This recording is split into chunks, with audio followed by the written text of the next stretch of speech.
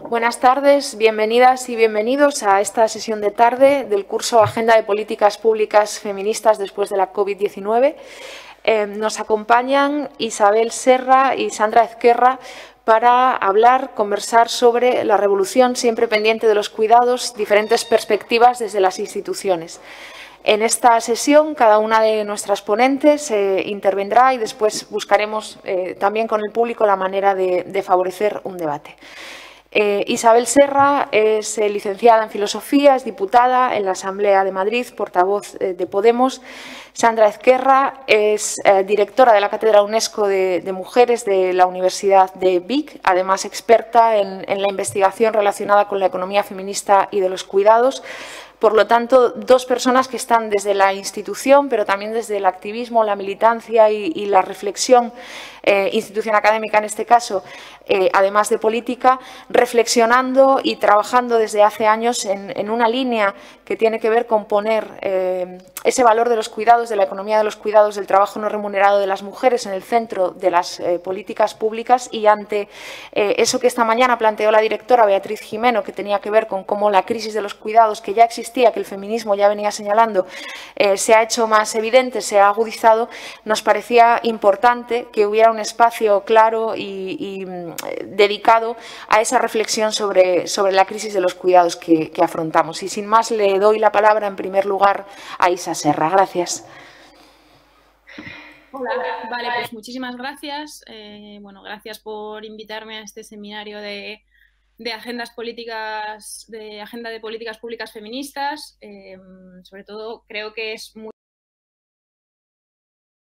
muy importante en la situación que estamos eh, de crisis del COVID, pues hablar, como decíais, sobre, sobre los cuidados, gracias también a la Universidad Internacional Menéndez Pelayo, al Instituto de la Mujer y al, Ministerio de Igualdad. Y bueno, decir que estoy encantada de, estar aquí con, Sandra Esquerra, que es un, es un, orgullo y la valoro muchísimo.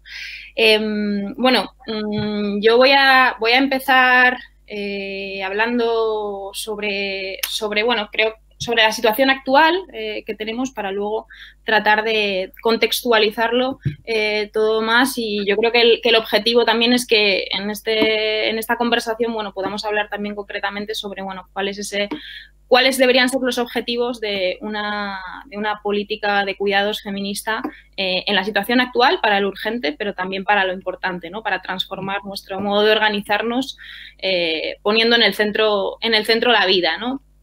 Bueno, en primer lugar, eh, es evidente que cuando hablamos de cuidados hablamos de una crisis de cuidados ¿no? y que la situación que estamos viviendo ahora, la crisis del COVID, tiene un impacto mayor sobre la desigualdad eh, de género y muy especialmente sobre los cuidados. Creo que además políticamente tiene un impacto sobre el feminismo como movimiento y proyecto político, ¿no? Pero bueno, em, concretamente eh, me quiero centrar más en, el impacto que tiene sobre, sobre los cuidados, ¿no?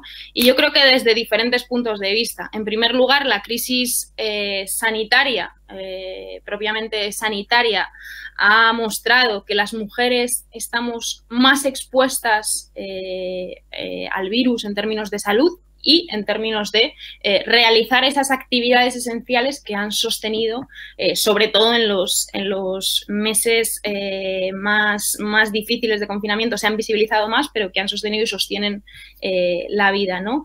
Em, esta crisis de cuidado relacionada con la situación del, COVID también creo que, es, mm, creo que tiene que ver con, que el confinamiento eh, o, eh, bueno, mm, bueno las, las, necesidades que hay respecto a los cuidados han generado es una sobrecarga de cuidados. Por ejemplo, con, el cierre de la escuela eh, ha sido muy evidente con el traslado del espacio de la educación a estar en, en casa esa, esa, educación, muchas veces por, por vía telemática, cuando se ha podido hacer así, y eso ha supuesto una sobrecarga de cuidados eh, evidente, ¿no?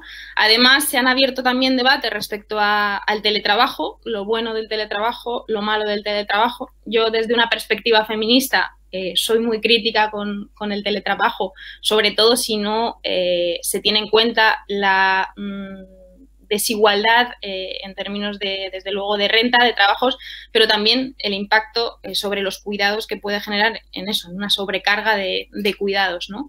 Em, y la crisis del COVID también en términos de la pérdida de empleos o la reducción de jornadas, como digo, no solamente por el cierre de los colegios, sino lo que estamos viendo ahora, también la necesidad de eh, que haya una reducción de la jornada o bajas eh, o permisos eh, que nos permita como sociedad abordar los cuidados cuando tienen que ser cerrados, bueno, cuando un niño no puede ir a la escuela. ¿no?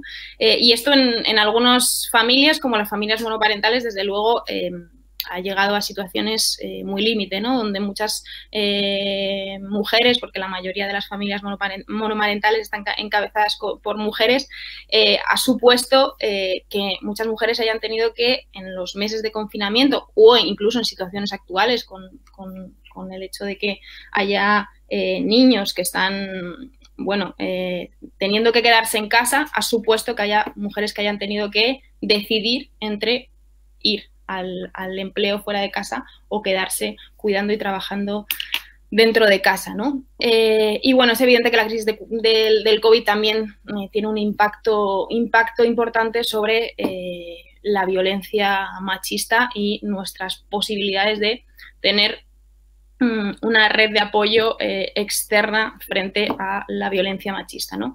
Em, bueno, Creo que además eh, la crisis del el, COVID y sobre todo en el confinamiento, como, como digo, ha permitido también eh, visibilizar las eh, actividades precisamente que son esenciales y que sostienen la vida como nunca antes. ¿no? este lema del feminismo de que si nosotras paramos se para el mundo, yo creo que se ha visibilizado mucho más y se ha visto cuando la economía ha sufrido un frenazo eh, cuáles son esas actividades, cuidados que eh, sostienen la vida y donde fundamentalmente son mujeres las que, las que están ahí, ¿no? En los servicios públicos, como ya digo, como, como sanidad, como educación, también en limpieza, también eh, las trabajadoras de los supermercados, en las farmacias, es un, es, un, sector muy feminizado y por tanto se ha visibilizado tanto el qué, es decir, cuáles son esas actividades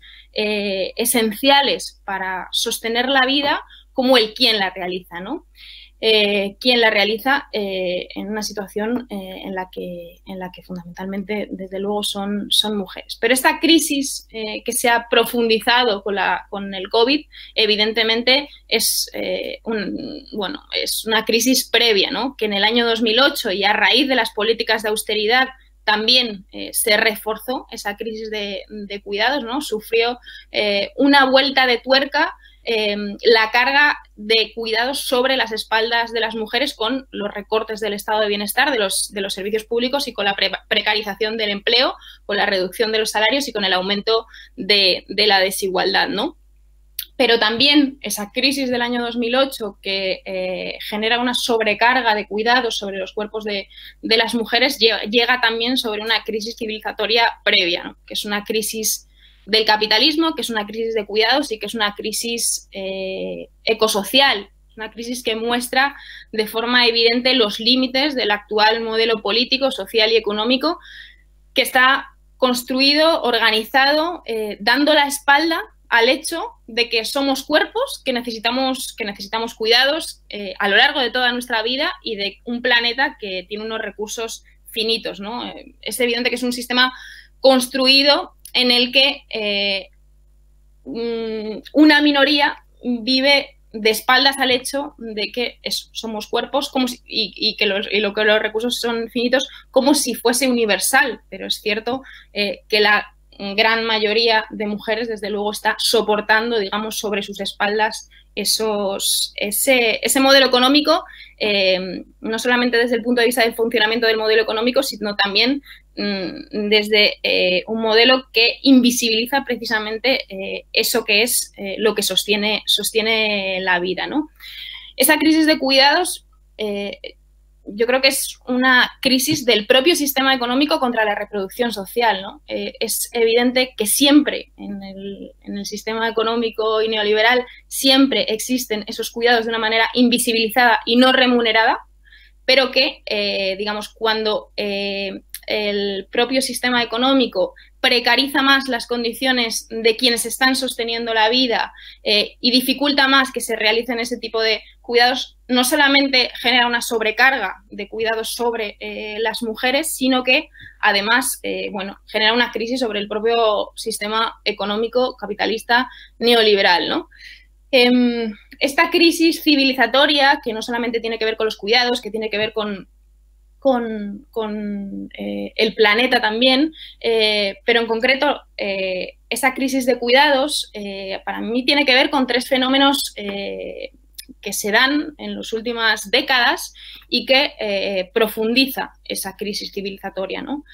tiene que ver con los cambios que se dan eh, a partir de la segunda ola del, feminismo, que son cambios que repercuten en, la familia, en el modo de organización de, la familia, eh, que repercuten también en la vinculación de las mujeres con el mercado laboral, favoreciendo una mayor eh, entrada de las mujeres en el mercado laboral, que tiene que ver también y que tiene que ver también con el neoliberalismo, ¿no? Con el neoliberalismo a partir de los años 80, con las políticas de liberalización, de desregulación, de privatización y de recortes del sistema público, ¿no? Eso genera una sobrecarga eh, y una crisis mayor de, cuidados, ¿no? Y, yo creo que es importante en el momento en el que estamos, esto es una valoración política, pero creo que, creo que es importante, creo que estamos en un momento en el que desde luego esa crisis social continúa, pero mm, para mí la emergencia de, posiciones, digamos, de, extrema derecha tiene también que ver con una reacción no solamente a la cuarta ola de feminismo, que luego la, mencionaré,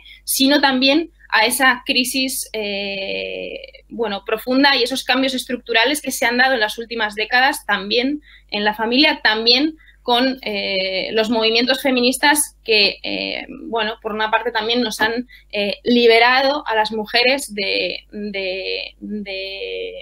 identificarnos con la función de, tener que cuidar, pero que es una crisis que no se ha resuelto porque digamos que las mujeres estamos en el mercado laboral trabajando, pero no hemos dejado de encargarnos de, los cuidados, ¿no? Bueno, en los últimos años ha surgido un movimiento feminista a nivel mundial muy potente, que en algunas, eh, por parte de muchas, lo hemos llamado, lo han llamado eh, cuarta ola. Y yo creo que es evidente que la cuarta ola del movimiento feminista tiene como uno de sus ejes principales los cuidados, ¿no? Poner en el centro de los cuidados, más allá de otros ejes como evidentemente son las violencias machistas, sexualidad eh, y otras cuestiones, ¿no? Pero yo creo que el, eje de, los cuidados es un eje fundamental en este movimiento feminista que recorre todo el mundo y las huelgas que se han hecho eh, también en este país en los últimos años, eh, que han resignificado el concepto de huelga para que sea útil como herramienta para enfrentarse al sistema económico actual, eh, es, un, avance importantísimo. ¿no? Em, es un avance a la hora de precisamente mostrar en qué consiste el sistema económico actual y por qué, más allá de digamos, las huelgas eh, clásicas, eh, es importante desde una perspectiva feminista hacer una huelga de cuidados y una huelga social. ¿no?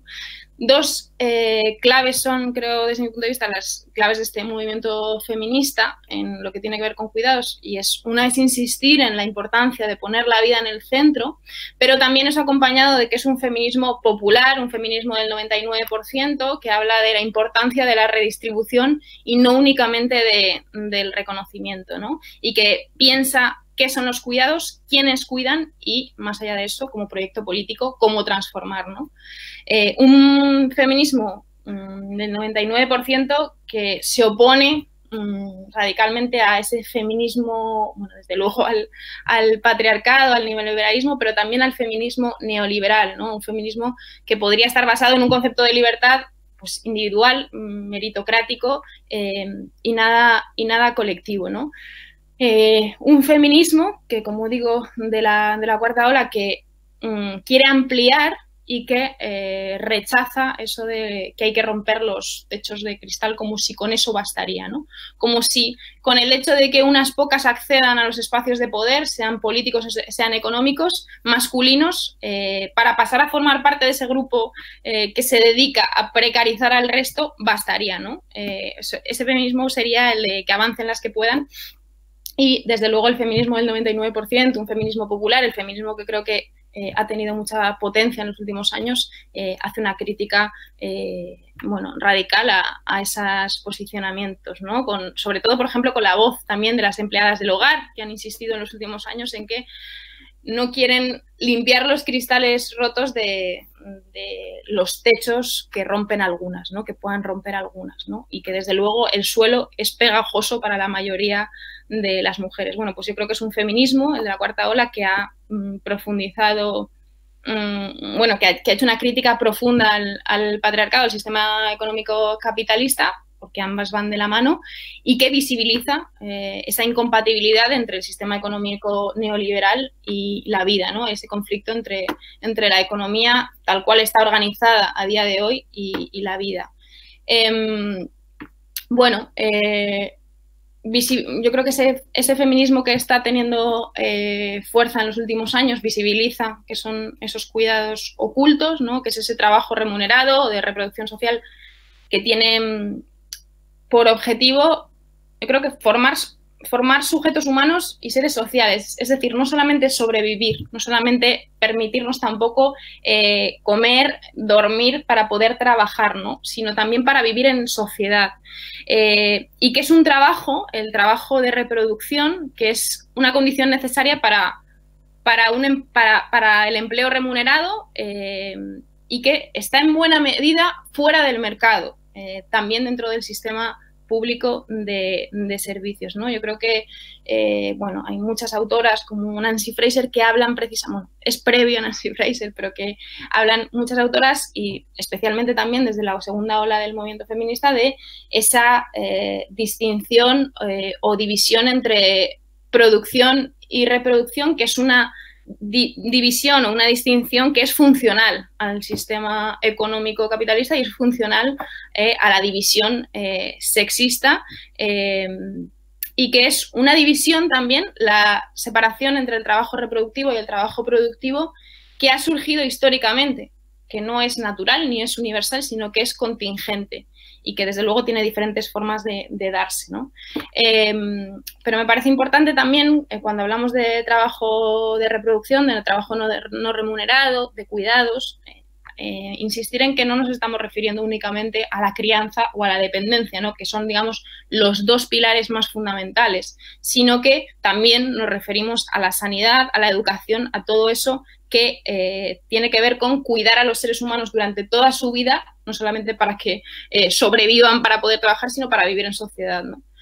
Em, y bueno, como decía este, este movimiento feminista eh, de los últimos años, y yo, y desde luego es, mi, mi, propuesta, ha hablado mucho de que hay que poner la vida en el centro, ¿no? Bueno, qué significa eh, esto de poner la vida en el centro, ¿no? Más allá de la incompatibilidad entre el neoliberalismo y entre los eh, derechos o la vida, eh, más allá de tener una economía con perspectiva feminista, ¿qué supone? ¿Qué cambios supone, ¿no? concretamente a la hora de abordar políticas o de tener un proyecto político feminista, ¿no? Bueno, yo, apuesto por un triple movimiento. Mmm, para darle la vuelta, digamos, a esta forma de relacionarnos, para repartir los trabajos y para poner la vida en el centro, que tiene que ver, en primer lugar, con valorar los cuidados, visibilizarlos, desde luego también contabilizarlos en, eh, tiempo, ¿no? Cuánto supone, cuánto tiempo supone eh, que es algo que siempre está invisibilizado, que se han hecho muchos estudios, hay muchas autoras feministas que han hecho este trabajo, pero que desde luego no está eh, visibilizado como se, necesitaría en esta sociedad. Reconocernos, reconocerlos, hacernos conscientes de su importancia como sociedad y, bueno, eso implica desde luego un cambio cultural importante, ¿no? Eh, tener un cambio de visión de lo que somos como sociedad, de la importancia de la interdependencia y de que somos cuerpos vulnerables. ¿no? En segundo lugar, la importancia de repartirlos entre hombres y mujeres y desligarlos de su vinculación con lo femenino y con las mujeres, ¿no? con un horizonte, digamos, para acabar con la división sexual del, trabajo. Y en tercer lugar, asumirlos como, como una eh, responsabilidad social y colectiva, en la que el Estado, eh, el común, tiene que garantizar esos cuidados, ¿no? Y el bienestar de, las personas, desde luego que participan en, el aprovisionamiento de, los cuidados, en la garantía de los cuidados. Por tanto, hablar también de la, importancia de eh, recibir eh, esos cuidados del derecho, no de la importancia, sino del derecho a recibir esos cuidados, desde luego no como una obligación para las mujeres para darlos, sino como eh, un derecho que la sociedad en su conjunto y el Estado en concreto tiene que, tiene que garantizar. Em, además, yo creo que, bueno, cuando hablamos de este, como decía, este triple movimiento, ¿no? Eh, visibilizar los cuidados, repartirlos y que sea una responsabilidad social, se ven ejemplos muy concretos eh, de cómo precisamente eh, el hecho de que estén invisibilizados y que estén feminizados facilita que sean trabajos más precarios. ¿no? Las, por ejemplo, las empleadas del servicio de ayuda a domicilio que trabajan para grandes empresas de servicios externalizados por el Estado, eh, lo hacen en unas condiciones laborales muy precarias y cuando eh, se habla de la necesidad de que esas mujeres tengan los trabajos eh, reconocidos y con derechos, muchas veces el discurso, yo creo que el discurso latente eh, patriarcal que hay en esta sociedad es algo así como pensar, bueno, si estas mujeres trabajan ahí también es porque les gusta, ¿no? Porque cuidan, lo hacen con amor, ¿no? y por tanto hay una concepción en la que el reconocimiento de derechos es secundario a, digamos, es más secundario que en otro tipo de, empleos, ¿no? Eh, de hecho, yo sé que esto es, polémico, pero por ejemplo a mí no me gusta mucho eh, decir esto de cuidar a las que cuidan, porque a mí me parece una visión algo paternalista. A mí me gusta mucho más decir garantizar derechos a las mujeres eh, que cuidan, ¿no? que trabajan en el servicio de ayuda a domicilio, en las escuelas infantiles, en, estos empleos porque me parece importante eh, reconocerlos como derechos, como trabajos con derechos eh, y no, digamos, como un trabajo vinculado a ser mujer eh, que hacemos con, con, amor y en el que si te recortan de la jornada de trabajo o si consideran que hay horas extra que tienes que hacer y no pagarlas, es, bueno, no pasa nada porque es trabajo que haces con mucho, con mucho amor, ¿no? Yo creo que es, es importante esto. Y desde luego, Em, creo que para hablar de, este triple movimiento que decía es importante también, desde luego, abordar eh, los derechos humanos de las personas migrantes y las cadenas globales de cuidados que consisten en eh, que haya mujeres eh, precarias que realizan los cuidados del, norte, del, del, centro, del sistema global y que lo hacen sin derechos, ¿no? Y por tanto es fundamental que hablemos siempre eh, de, la, de, la, ratificación del convenio 189 y creo que el hecho de que tantos gobiernos se hayan negado a eh, garantizar los derechos de las, de las empleadas del hogar eh, no es una casualidad, tiene que ver fundamentalmente con que tienen que, que siga siendo ese trabajo realizado por mujeres en precario porque eh, se, mostraría, digamos, si se pagase como se debería de pagar y si se reconociesen los, derechos como se deberían de reconocer, esa eh, incompatibilidad ¿no? Mm, mucho mayor de la vida con la economía. ¿no? Bueno, ¿en qué se concretaría, digamos, más allá de poner la vida en el centro de ese triple movimiento, en qué se concretaría ese nuevo sistema de cuidados en términos de políticas públicas? ¿no? Eh, yo creo que cuando hablamos de un nuevo sistema de cuidados, ¿no? Hablamos mm, de cuidados eh, mm, que estén en el centro, pero de políticas de transición, es decir, políticas que resuelvan la urgencia que hay actualmente y mucho más con la crisis del COVID, pero eh, la, urgencia y la emergencia, pero también eh, políticas que vayan sentando las bases de un cambio sistémico, feminista de una transformación mucho más profunda. ¿no? Yo creo que hay que pensar políticas públicas que no nos limiten para ir más allá, sino todo lo contrario, como digo, que resuelvan urgente, pero que nos posibiliten transformar, eh, digamos, eh, bueno, pues el sistema de organización económico con cambios de muchísimo mayor calado para que avancemos hacia una sociedad eh, feminista. Yo creo que esto requiere avanzar hacia ese sistema público de cuidado, requiere de de un debate público abierto eh, y permanente desde los movimientos sociales, canalizado también por parte de las instituciones, eh, que amplíe los márgenes de, lo posible y que marque también un, horizonte. ¿no? Em, creo que este, este, hablar de un sistema público de cuidado requiere también eh, mirar el, papel de todos los planos del poder público y las diferencias entre administraciones. O sea, yo creo que hay que empezar por Europa. Eh, recientemente se ha dado una batalla, ha, habido un debate en Europa eh, sobre los fondos mm, de reestructuración europeos y en términos de estados para el COVID. yo creo que ahí hay una tarea pendiente o se ha visibilizado que el feminismo no era la prioridad. ¿no? Yo cuando creo que cuando se condicionan eh, los, los, fondos COVID a determinadas políticas que desarrollen los estados, uno de esos ejes principales debería ser, desde luego, transformar eh, la política de cuidados y avanzar hacia un nuevo sistema público de, cuidados. Y no ha sido así, por tanto, creo que hay, eh, hay mucho, que, mucho que avanzar.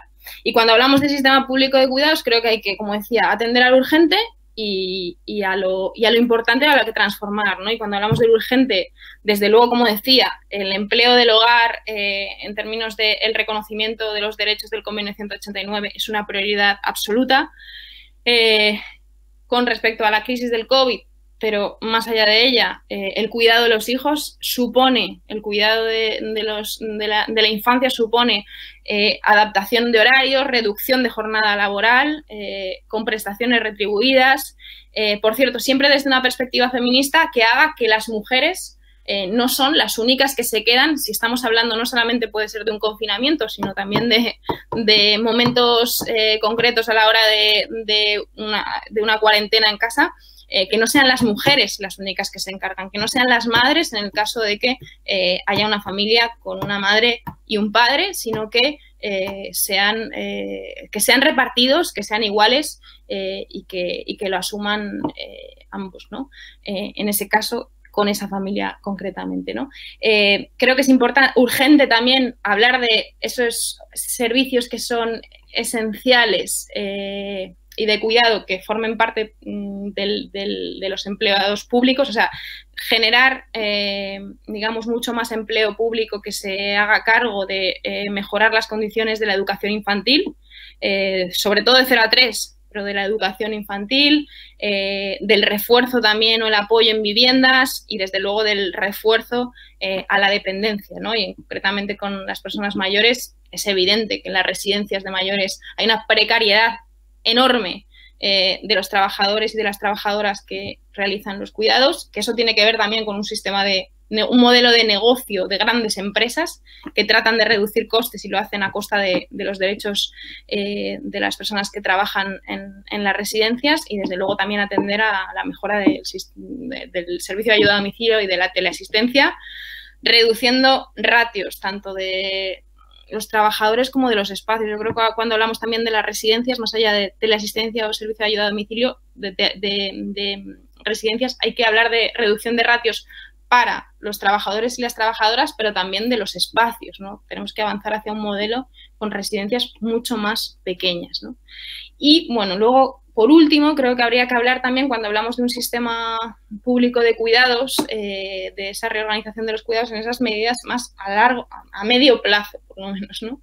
Eh, para mí es fundamental un cambio legislativo eh, que conceptualice los cuidados como un derecho universal, como el, como el derecho universal al cuidado, sea con los cambios legislativos que haya que hacer pero que eh, se reconozca el derecho universal al cuidado, ¿no? Eh, y desde luego también que se identifiquen eh, cuáles son esas actividades esenciales para el sostenimiento de la vida, que es algo que en, esta, en este confinamiento, con las medidas que se pusieron por parte del gobierno, se hizo de forma rápida, con ese decreto sobre las actividades esenciales, pero yo creo que evidentemente esto requiere de un debate por parte de la sociedad mucho más allá de, de ello, ¿no? Y, por último, creo que hay eh, otras políticas que tienen que ver con el derecho a la vivienda, con las políticas laborales, que serían la reducción de la jornada laboral, pero manteniendo los salarios, la flexibilización de la jornada en duración y distribución a favor del empleado o la empleada. Em, otras políticas de cara a la reforma fiscal, ¿no? Repartir los trabajos, repartir la riqueza y eh, aumentar, eh, digamos, la, carga impositiva sobre, el capital eh, con una reforma fiscal progresiva, ¿no? Em, creo que es fundamental. Hablar de una renta garantizada que vaya más allá del ingreso mínimo vital, ¿no? Y que sea un ingreso ajustado a criterio de suficiencia económica. Reorganizar el, transporte y el urbanismo desde una perspectiva feminista y de cuidados, ¿no? Yo creo que todas estas políticas que son a medio plazo son también fundamentales para hablar de, la reorganización del sistema mm, de cuidados público y de la necesidad de que, de que avancemos hacia una sociedad más feminista en la que, ya digo, la vida esté en el centro. Y bueno, yo eh, ahora dejo la palabra a Sandra y posteriormente pues, podemos hacer un debate.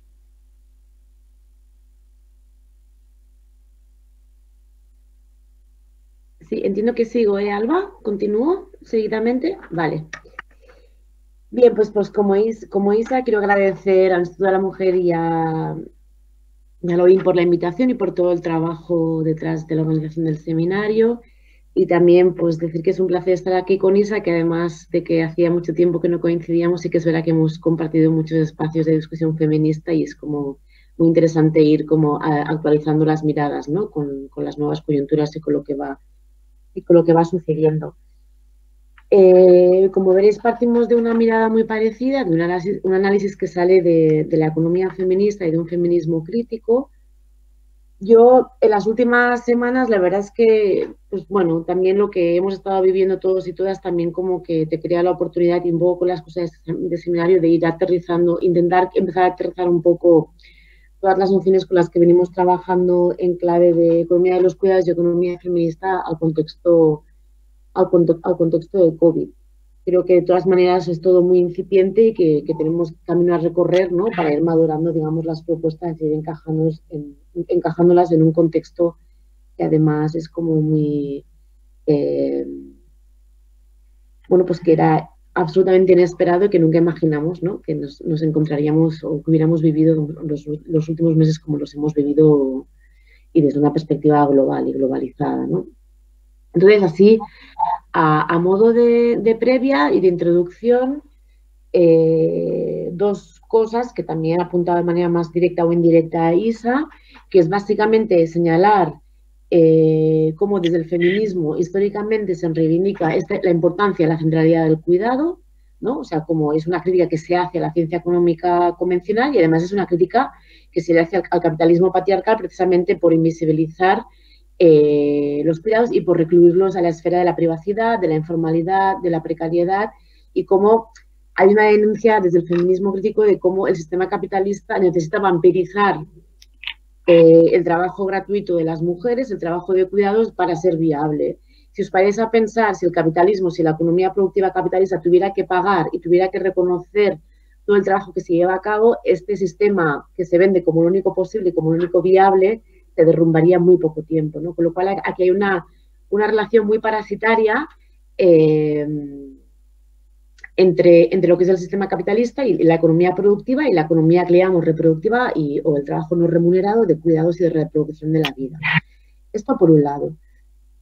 Eh, por otro lado, de, manera más reciente, hemos estado hablando de crisis de los cuidados y se lo ha desarrollado básicamente de manera como muy sintética para aquellas y aquellos que es la primera vez que oís este eh, concepto, es básicamente en un contexto en el que en las últimas décadas hay una incorporación masiva de las mujeres en el mercado laboral, desde que el año que yo nací, hace 44, y ahora eh, se ha más que doblado la tasa de participación laboral de las mujeres en el Estado español, por ejemplo, eh, a pesar de que las mujeres de clases populares siempre han trabajado, siempre han estado en el mercado laboral, eh, un debilitamiento del estado de bienestar cuando se da una subida, un, un apogeo, digamos, del paradigma neoliberal en clave de gasto social, un envejecimiento demográfico, sabemos que la esperanza de vida se alarga y también lo que es la mediana edad de la sociedad y el sobreenvejecimiento social, y también la pérdida de actores sociales que históricamente han tenido un peso importante a la hora de acompañar el cuidado, como puede ser la familia extensa o como pueden ser las redes comunitarias, y que particularmente en contextos urbanos, como estos actores pierden mucho peso, hay nuevas tipologías familiares que también se ha hecho referencia antes, todo esto combinado lo que hace patente, lo que visibiliza es que el sistema tradicional de cuidados ya no sirve, estaba, era precario, pero como que este equilibrio ya deja de sostenerse y cada vez eh, tenemos más dificultades como sociedad para garantizar el cuidado de algunos sectores de la sociedad. Y aquí, pues, háblese y se ha dicho, ¿eh? personas mayores, criaturas, etc. Esto como previa. ¿Qué pasa cuando estalla la crisis sanitaria del coronavirus? ¿no? Y algunas también hemos estado reivindicando desde el principio que, de acuerdo, que es claramente una crisis sanitaria, pero que también se habla de crisis de los cuidados, porque crisis de los cuidados, como veréis, y es un poco mi tesis, ¿no? Es un concepto más comprensivo, es más global y además aborda no solo la dimensión formal del sistema de salud, sino también la dimensión informal y la dimensión no remunerada o la dimensión comunitaria que ha estado muy, eh, muy invisibilizada por las políticas públicas tanto del gobierno central como de los gobiernos autonómicos eh, y también por los medios de comunicación en esta sobreinformación que hemos tenido en los últimos meses sobre, sobre la expansión de la pandemia y sobre las respuestas políticas. Desde mi punto de vista, eh, esta crisis sanitaria provocada por, el, por, el, estallido de la pandemia de la, de, la, COVID pone de manifiesto cómo el actual sistema socioeconómico, como, como decíamos antes, eh, niega de manera sistemática el derecho a un cuidado digno y satisfactorio que cubra necesidades y niega este derecho tanto para las personas que necesitan cuidado como para las personas que necesitan proporcionarlo, ¿no? Como, eh, digamos, a los sectores de, ambos extremos, digamos, de la línea de cuidado. Y la crisis de COVID también confirma una de las principales premisas de la economía feminista, que luego pues lo, lo recuperaremos, ¿no? que es la interdependencia y la vulnerabilidad, de las personas como base de las relaciones humanas y las relaciones sociales.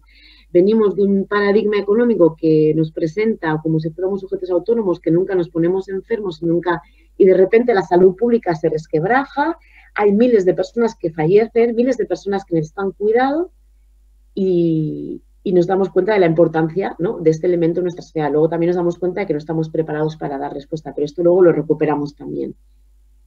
Y para aterrizarlo un poco, así como pinceladas o como tres elementos que a mí me parecen interesantes y que, y que me parece que sirven para entrar, digamos, a entender esta crisis de los cuidados de manera eh, conjunta, o sea, de manera en cómo se desarrolla con, con, la crisis de la COVID. Bueno, en primer lugar, eh, si ya teníamos una crisis de los cuidados previamente, a pesar de que también venía de una crisis civilizatoria que también ha, apuntado Isa, eh, yo creo que es correcto decir, también se ha planteado cómo la crisis de la COVID agudiza esta crisis de los cuidados previamente existente. No, o sea, no tenemos una crisis de proporción de cuidados que viene de la noche a la mañana, sino que se explica por muchas cosas que ya estaban pasando. Antes, lo único nuevo es el virus, o este virus en particular, y cómo se comporta. Pero hay muchas cosas que ya estaban pasando previamente y que el feminismo venía denunciando y que ayudan a entender eh, cómo se ha desarrollado y cómo se ha significado, digamos, esta situación. Y aquí eh, yo creo que tanto el carácter esencial de los cuidados como esta agudización de la crisis de los cuidados con la COVID eh, y esta invisibilización por parte de las políticas públicas, para, mí se han puesto de manifiesto, se han confirmado de tres maneras distintas. ¿no? Son como los tres ejes, digamos, de análisis de esta primera parte de mi exposición.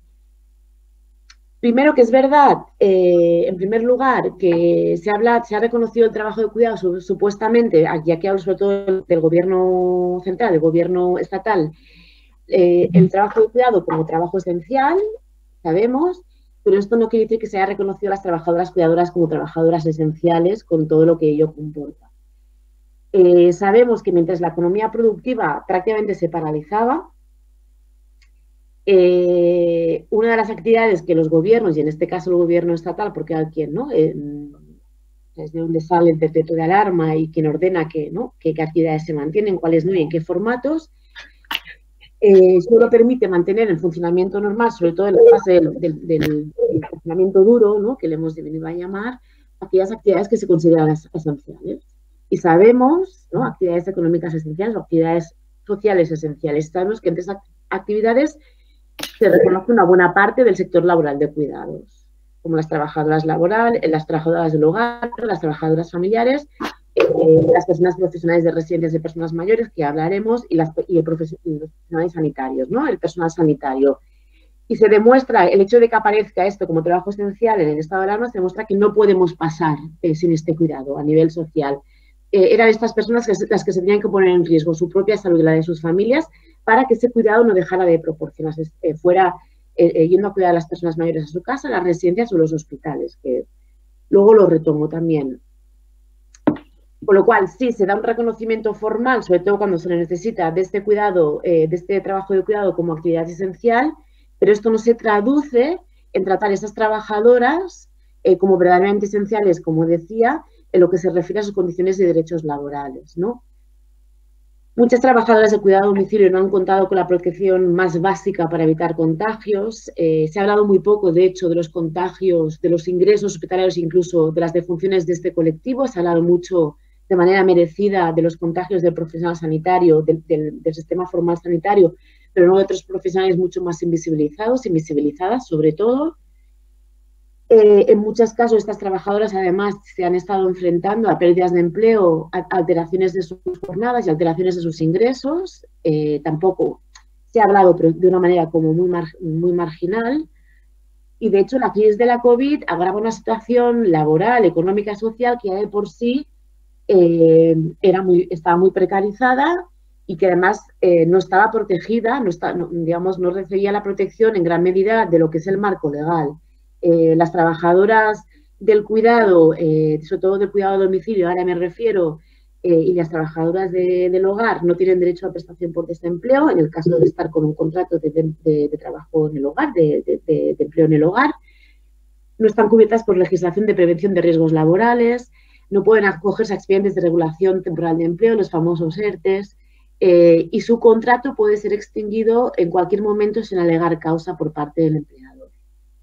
Sí que es cierto que desde el Ministerio de Trabajo, desde el Gobierno Central, se aprueba un subsidio extraordinario que es temporal, porque no existía dicha cosa para este sector, que era equivalente al 70% de la base reguladora, una base reguladora que, recordemos, eh, es una de las más bajas del mercado laboral, pero desde diversos colectivos de, trabajadoras del hogar, trabajadoras del cuidado, se ha estado denunciando cómo estos subsidios, estas ayudas eran claramente eh, insuficientes y, sobre todo, excluían a las trabajadoras ese contrato y a las trabajadoras de situación irregular, situación administrativa irregular, que puede parecer de sentido común eh, no incluirlas porque, eh, pues porque no, existen formalmente, para entendernos desde una perspectiva de la administración pública, pero no entendemos, no olvidemos que la legislación acepta que no se realice contrato formal, es decir, si muchas trabajadoras no tienen contrato formal escrito es porque la administración lo permite y no olvidemos que la, Administración es completamente consciente de que gran parte de este cuidado en el hogar se está llevando a cabo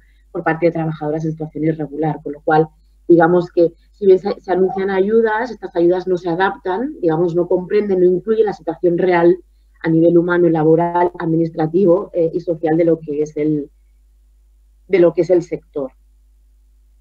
Por otro lado, cabe preguntas, y aquí lanzo una pregunta porque es un poco a la espera de lo que va a pasar, Cabe preguntarse en qué medida eh, toda la incertidumbre que rodea la reapertura de las escuelas y los centros educativos, pero particularmente de las escuelas y de las, escuelas infantiles, eh, así como la evolución de, la situación de las, de las residencias de personas mayores, aquí una posible hipótesis puede ser que haya familias que recurran a trabajadoras que vayan a su casa para tener cuidado, para cuidar de estas personas, sean las criaturas o las personas mayores, ante el colapso o la falta de capacidad de respuesta por parte de lo que es el sector público.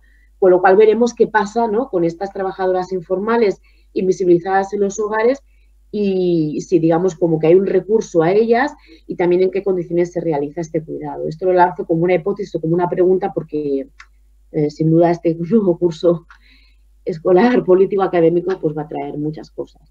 Eso sería una primera dimensión de, este, de este aterrizaje de la crisis de los cuidados ¿no? y de esta, esta, visualización del cuidado como esencial, como central por parte de, la crisis COVID. La segunda,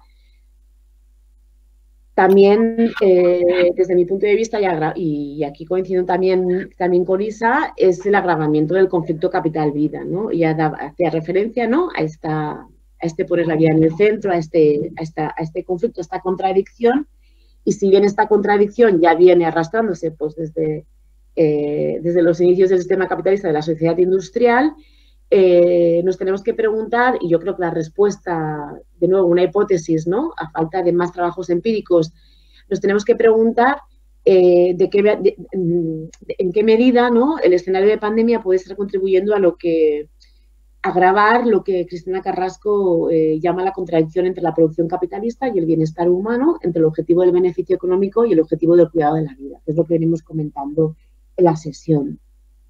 Sabemos que al cerrarse los centros educativos en marzo, en el mes de marzo, eh, y, posteriormente, un par de días después, declararse el estado de alarma y declararse el confinamiento generalizado, se genera una situación en la que, o sea, que se dice rápido porque parece que lo hemos naturalizado, pero de la noche a la mañana eh, millones de familias necesitan cuidar a sus criaturas durante las 24 horas del día y a, pesar de que eh, muchos de estos progenitores pasan a teletrabajar desde sus hogares, y podría parecer que era más fácil cuidar de ellas porque cerraban las escuelas, se demuestra que es imposible garantizar un cuidado de calidad eh, en el hogar, trabajando, haciendo jornadas completas sin ninguna ayuda externa, que es lo que nos desaparece, las ayudas externas, digamos, al cuidado, en este caso, Además, si damos un poco más fino, esta imposibilidad eh, de garantizar estos cuidados de calidad de las criaturas se ve agravada por la desaparición, no sabemos si momentánea o no, de los abuelos y las abuelas, que era un recurso al que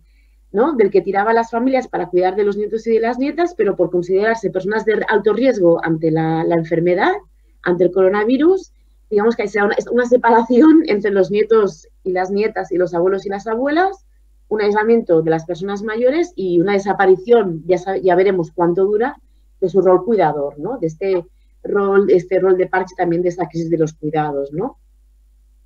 Una vez desaparece el apoyo externo, sea público o mercantil, porque también cierran las escuelas privadas, y una vez desaparece ¿no? o disminuye este apoyo de la familia extensa, eh, ¿quién cuida de los niños y de las niñas? ¿no?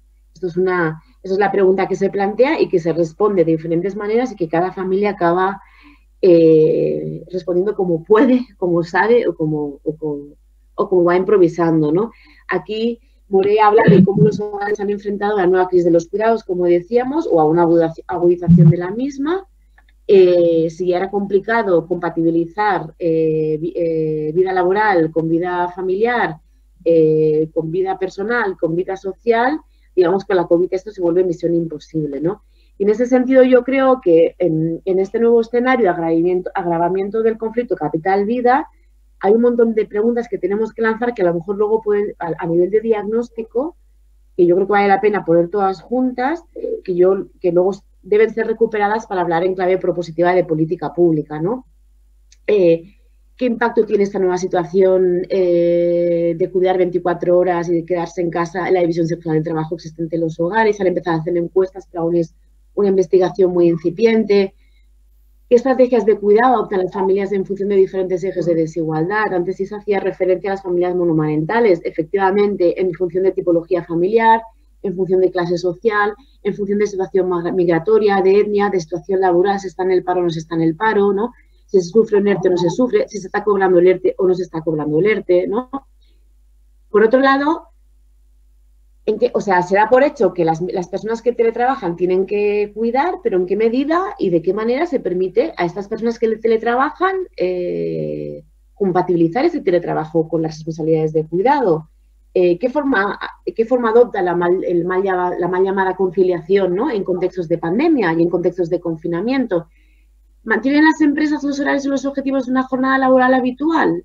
¿Vuelven penalizar a la trabajadora porque no es capaz de seguir el ritmo? Eh, se les está obligado a trabajar por las noches porque durante el día tienen que cuidar de las criaturas, está trabajando fin de semana. O sea, hay una emergencia eh, de país, hay una emergencia global, en qué medida el sector privado está de manera generalizada, porque efectivamente seguro que hay ejemplos de buenas prácticas, ¿no? que eso es lo que hay que visibilizar, está incorporando esta, digamos, multiplicación de tareas y responsabilidades y esta, digamos, esta acumulación de sobrecarga por parte, por parte de, los, de los hogares. O en el caso de las empresas, algunas están teniendo en cuenta esta simultaneidad de funciones, que además no solo se da una simultaneidad de funciones, sino que se dan constantes interrupciones a la, actividad laboral, que al principio nos parecía cuco, ¿no? Cuando aparecían los hijos y las hijas de los periodistas interrumpiendo las entrevistas, ¿no? Eh, por, los medios de comunicación, pero llega un momento que es muy estresante tener que ser productivo, productiva, cuando ves que tu pequeño tu pequeña está ahí, que, que van pasando las horas y que nadie se está haciendo cargo de manera en que necesitaría que se hiciera cargo, ¿no?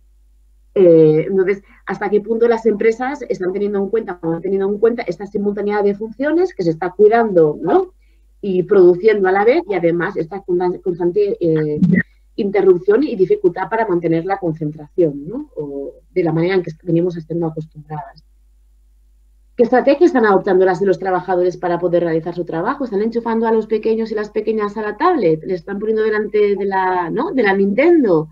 ¿Están dejándoles delante de la televisión? O sea, se ha hablado de desigualdades en el sistema educativo, que también se ha hecho referencia antes, yo creo que es muy importante. Quizás se ha hablado menos, ¿no? De hasta qué punto se ha, vivido un deterioro de las relaciones de los progenitores con los pequeños y las pequeñas a la hora de dar atención de calidad y de, de calidad y de cantidad, que la cantidad no tiene por qué ser de poca calidad, ¿no? Que también es importante.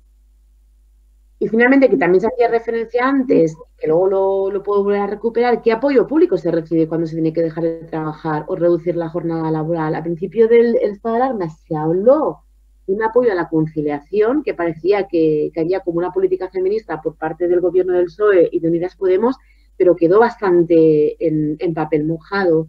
Eh, y no solo que, apoyo público para cuidar de un hijo o de una hija, sino que solo para tenerlos en casa. Pero ¿qué pasa también cuando se tiene que, cuidar de un hijo o de una hija que se han puesto enfermos de COVID, ¿no? Y ya no solo que se han puesto enfermos, que en muchos casos aquí los médicos de cabecera están dando bajas laborales para poder cuidar de la criatura, se ha tirado como de este hilo, cuando tu criatura no está enferma, sino que ha entrado en contacto con un positivo y tiene que hacer cuarentena, esto por ley no puede darse una baja por enfermedad para abordar esta situación. ¿Qué tipo de prestaciones remuneradas y reconocidas eh, se, pueden, plantear? Que hasta el momento el gobierno no, lo está aclarando. Luego lo recupero la parte más propositiva. Y finalmente, una tercera dimensión eh, de cómo la COVID agudiza este, esta crisis de los cuidados también cómo visibiliza ¿no? lo importantes que son y lo negligidos que los hemos tenido, ¿no? los, descuidados que los hemos tenido, que es un desbordamiento del sistema formal de cuidados. ¿no? Como el sistema eh, formal de cuidados con la crisis de COVID colapsa. Eh, colapsa, casi colapsa, colapsa en algunos casos, colapsa en algunos momentos, pero vemos que entra en una crisis brutal. Y aquí Sabemos que dos de los principales eh, pilares del sistema formal de cuidados, que son los centros hospitalarios y las residencias de personas mayores, se ven desbordados por la aceleración de la propagación del virus en forma de casos graves eh, a partir del mes de marzo, que es cuando se empieza a visibilizar los efectos de este contagio tan acelerado. Y por un lado, son incapaces de dar una respuesta sosegada y calmada y pausada ¿no? y de calidad a la demanda de cuidado urgente y agudo que reciben y por otro lado son testigos de millares de muertes. Son incapaces de parar el fallecimiento de, de, millares de personas. Esto, esto, por parte de los del sistema hospitalario, de los hospitales, que han sido los grandes protagonistas eh, de la heroicidad COVID, luego recupero la noción de héroes, ¿no? y también por parte de las residencias de personas mayores que lamentablemente han sido protagonistas, eh, digamos, en contextos mucho más trágicos y además, bueno, mucho más negligentes. Luego también lo, recupero. Por otro lado, sin embargo, tenemos a los sistemas de salud primaria, que nadie se acuerda de ellos. O sea, recordad que nos pasamos unos meses oyendo hablar solo del sistema hospitalario, pero nadie se acuerda de la salud primaria y comunitaria, que no solo tiene la función de acompañar en la proximidad, sino también de dar respuestas comunitarias y también de hacer una política preventiva. No hubo política preventiva de la COVID, a lo que nos estalla ya no había tiempo de prevenir, porque se había subestimado y digamos como que no, habíamos sido capaces de imaginar, que aquí yo no lo digo en clave de, culpar a ningún color político, yo creo que todas las administraciones pecaron, ¿no? Pero yo creo que otros actores sociales que no estamos, ¿no? Y que no están en, lo que es el, que no están gobernando, ¿no? Sino que era como muy difícil imaginar hace un año una situación como la que hemos vivido en los últimos seis meses, ¿no? Pero aquí la, salud comunitaria, que hasta hace muy poco nos ha hablado de ella, ha sido incapaz, ¿no? No ha tenido los recursos para acompañar a nivel comunitario, también ha estado como estirando muchísimo los, los pocos recursos que tenía y de forma más reciente ha sido protagonista por la incapacidad de rastrear y de seguir contactos ¿no? de nuevos contactos de, eh, personas contagiadas de COVID para precisamente evitar los rebrotes que, hemos visto estos este verano.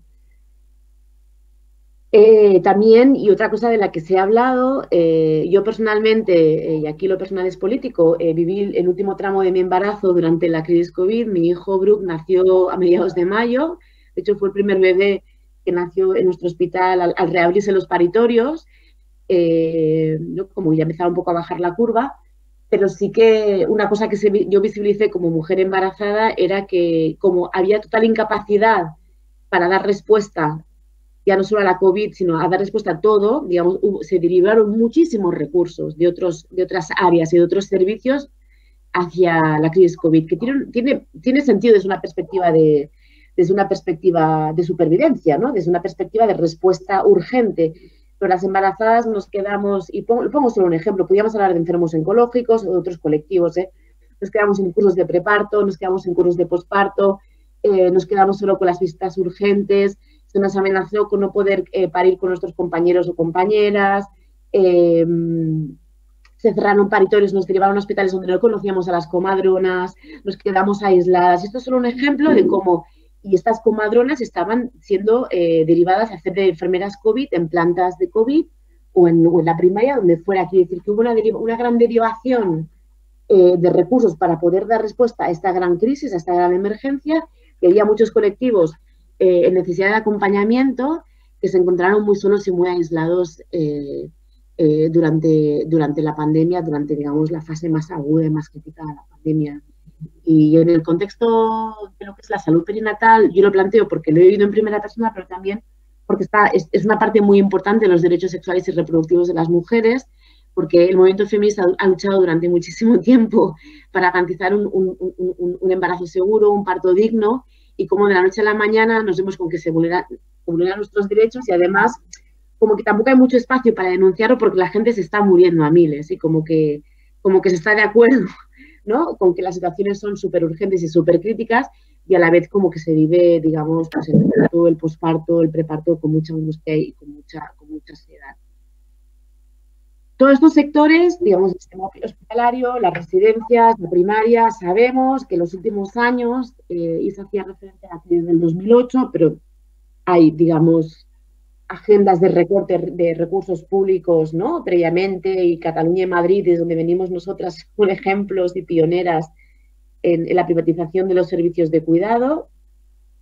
Pero se ve que estos sectores son, son víctimas en los últimos años de recortes y privatizaciones que lo que hacen es diezmar su musculatura y dejarla raquítica y dejan unos músculos demasiado débiles para dar respuesta a la gravedad de la pandemia. Eh, o sea, no es que la, pandemia fuera demasiado grave para poder dar respuesta digna, es que teníamos un sistema de salud y de cuidados demasiado debilitado como para dar eh, respuesta a una situación así. Solo por poneros un ejemplo, en el caso concreto de las residencias de personas mayores, la tasa de cobertura, digamos, de, de, cuidado de la dependencia en personas mayores en formato de residencia está por debajo en el Estado español de, lo que, de las recomendaciones de la OMS, de la Organización Mundial de la Salud, y además, eh, poca cosa, el 75% de los centros eh, en España son de titularidad privada. Que hablamos a menudo de, las residencias de personas mayores, pero mm, aquí también hay que tener en cuenta cómo se ha externalizado y cómo se, digamos, estamos ante seguramente uno de los sectores más rentables en la actualidad eh, en la economía española, fuera de la economía, digamos, financiera, y donde han entrado fondos buitre, han entrado fondos de inversión y han entrado eh, empresas multiservicios como las de eh, Florentino Pérez eh, para, digamos, regentar y gestionar estos equipamientos. nos encontramos con residencias con plantillas insuficientes, con condiciones laborales de alta precariedad, con baja la protección, como decía antes, en el caso de las trabajadoras familiares, con ritmos de trabajo extenuantes, que han puesto en riesgo la salud de las trabajadoras, pero a la vez han impedido garantizar una atención digna y de calidad a las personas mayores residentes. Y esto yo creo que ha quedado clarísimo. Eh, bueno, por no hablar también en, plena pandemia la capacidad de dar respuesta a las inquietudes de las familias, a las peticiones de información y a la profunda preocupación de las familias que veían como por los medios de comunicación lo que estaba pasando eh, con las residencias de personas mayores, sabemos que hay eh, decenas eh, de, demandas, tanto administrativas como penales, abiertas en el conjunto del Estado y veremos qué pasa en los próximos años con el caso de las residencias, que además sabemos que no solo ha pasado en el Estado español. Con lo cual, estos tres elementos que me parecen a mí importantes, ¿no? El cómo se pasa a hablar de cuidado como actividad esencial, pero no de trabajadoras como de trabajadoras de cuidado como trabajadoras esenciales con condiciones dignas, eh, cómo se da un agravamiento de este, este conflicto capital-vida y cómo hay un desbordamiento del sistema eh, formal de salud. En ese sentido, trae esta parte con una, con una reflexión que es transversal a estos tres puntos, ¿no? que es que si, bien es cierto que, pues bueno, pues que la pandemia permite hablar en los últimos meses de, manera más intensiva de los cuidados y que a lo mejor hay una cierta revalorización social eh, del sistema formal de cuidados y particularmente de la función del cuidado formal de tercer nivel, que son los, hospitales de tercer nivel y lo que son los grandes y particularmente las unidades de, cuidados intensivos, ¿no? O sea que no, hemos valorado a todas las trabajadoras y trabajadores hospitalarios de la misma manera. Eh, pero es que además, eh, o sea, no lo hemos hecho de la misma manera, pero sí que ha habido como una visibilización de este personal sanitario heroico, ¿no? Este agradecimiento y este constante homenaje a este sector de la población que además, pues, es un agradecimiento eh, merecidísimo. Sí que ha pasado esto, pero por otro lado ha permanecido una invisibilización de la intensidad. ¿Qué va a manejar nuestra información? ¿Perdón?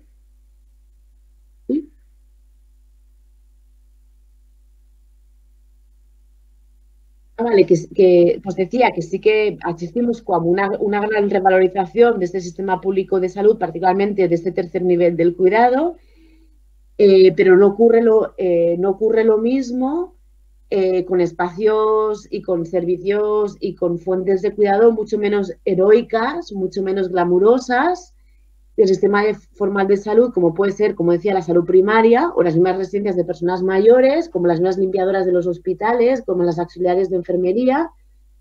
Y tampoco hay una, visibilización del cuidado proporcionado desde los domicilios, ¿no? Tanto cuidado contratado como cuidado familiar. Es decir, eh, se ve la punta del iceberg del sistema de cuidados, que es el sistema hospitalario, pero no se reconoce la importancia del cuidado de todo aquel y aquella que no está llegando al hospital y no está llegando al hospital porque a lo mejor no está suficientemente grave como para ser ingresado en una, en una planta de UCI, pero que tiene graves eh, dificultades para respirar, con sintomatología de la COVID, que cualquiera que la haya pasado en formato más mínimamente, digamos, grave, porque hay gente que la, ha pasado o de manera sintomática o con síntomas leves, pero que son pueden ser unos síntomas muy molestos, que lleva muchísimo tiempo quitarse encima. Hay gente que ha pasado la COVID durante semanas y meses ¿Quién ha estado proporcionando eh, cuidado a las personas que no han llegado a los hospitales? ¿Quién ha estado ayudando a recuperarse a las personas en casa? Las personas que tenían COVID y han, han pasado en casa solas. ¿Quién ha estado acompañando a las personas que fallecen en los hospitales? Eh, pero también en los hogares, porque ha habido personas muertas en los hogares. Que al principio recordar que es que el sistema de contagio de los gobiernos ni siquiera eh, podía incluir, digamos, las personas que estaban muriendo con, síntomas eh, compatibles de COVID, pero que no estaban eh, contabilizadas de una determinada manera.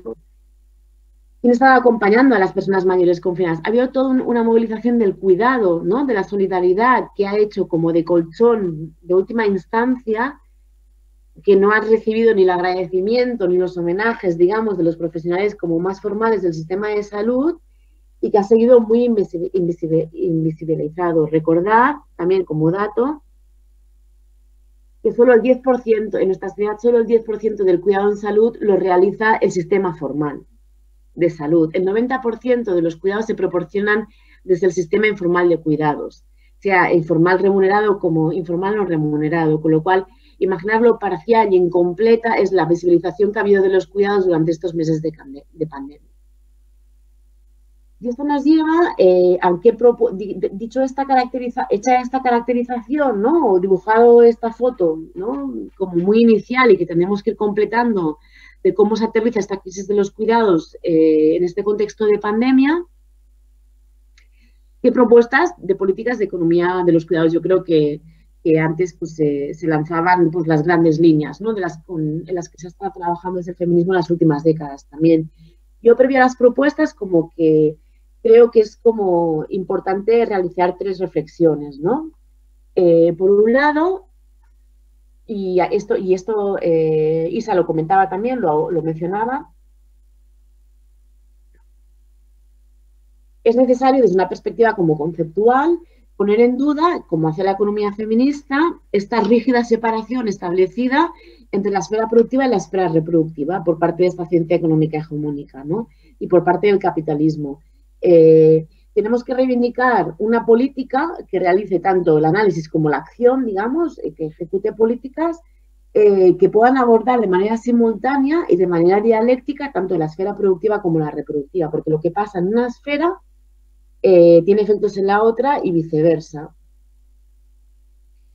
y de hecho, algunas de las situaciones que ahora he mencionado, ¿no? en esta caracterización del escenario COVID, muchas de estas situaciones de agudización de crisis de los cuidados se dan en la intersección entre esfera productiva y reproductiva, con lo cual no podemos centrarnos eh, solo en, lo que es la dimensión de los cuidados, eh, de los cuidados no remunerados o de la economía reproductiva, eh, digamos, privada o familiar, y las respuestas feministas desde las políticas públicas a la crisis de la COVID deben ser transversales. Aquí eh, luego, si tengo tiempo, compartiré brevemente el ejemplo de una acción de medida de gobierno que llevamos a cabo en el, Ayuntamiento de Barcelona hace tres años, eh, en la que hablábamos de democratizar los cuidados en la ciudad y que precisamente intenta abordar la economía eh, productiva y la economía reproductiva de manera simultánea. Con lo cual, digamos, eliminar esta separación ficticia entre lo productivo y lo reproductivo y, digamos, reunificarlas bajo la bandera feminista. En segundo lugar, eh, otra denuncia que ha hecho eh, la economía feminista al sujeto político implícito de las políticas públicas y también del análisis económico es que este sujeto de derechos o este sujeto de análisis suele ser un adulto sano, a menudo hombre, productivo, autónomo, independiente, etcétera. Una persona que se autorreproduce, ¿no? Que nace ya, que nace que se despierta ya peinada y duchada, ¿no? Con la corbata planchada, eh, que, ¿no? que no, y como que la, ciencia económica convencional hegemónica no tiene en cuenta que hay toda una serie de tareas, sean remuneradas o no remuneradas, para garantizar que este sujeto llega, llega al empleo. Y no solo eso, sino que este sujeto fue un día bebé, fue un día criatura, y algún día a lo mejor tiene un accidente, o a lo mejor, esperemos que no, pero lo que, de lo que no hay salida es que algún día será mayor. Y su cuerpo se deteriorará y es probable que su mente también. Necesitará cuidado. Este sujeto implícito de las políticas públicas autónomo e independiente es una falacia. Eh, y lo que plantea la economía feminista es que hay que partir de la premisa de la vulnerabilidad y la interdependencia, como decía al principio de la presentación, y que esta vulnerabilidad y esta interdependencia son inherentes a las relaciones humanas y sociales. Eh, se, busca romper la, digamos, la dicotomía entre dependencia e independencia, ¿no? Y hablar de interdependencia. O sea, interdependencia como algo positivo, como que si no estamos juntos y nos cuidamos, pues que no somos nadie, ¿no?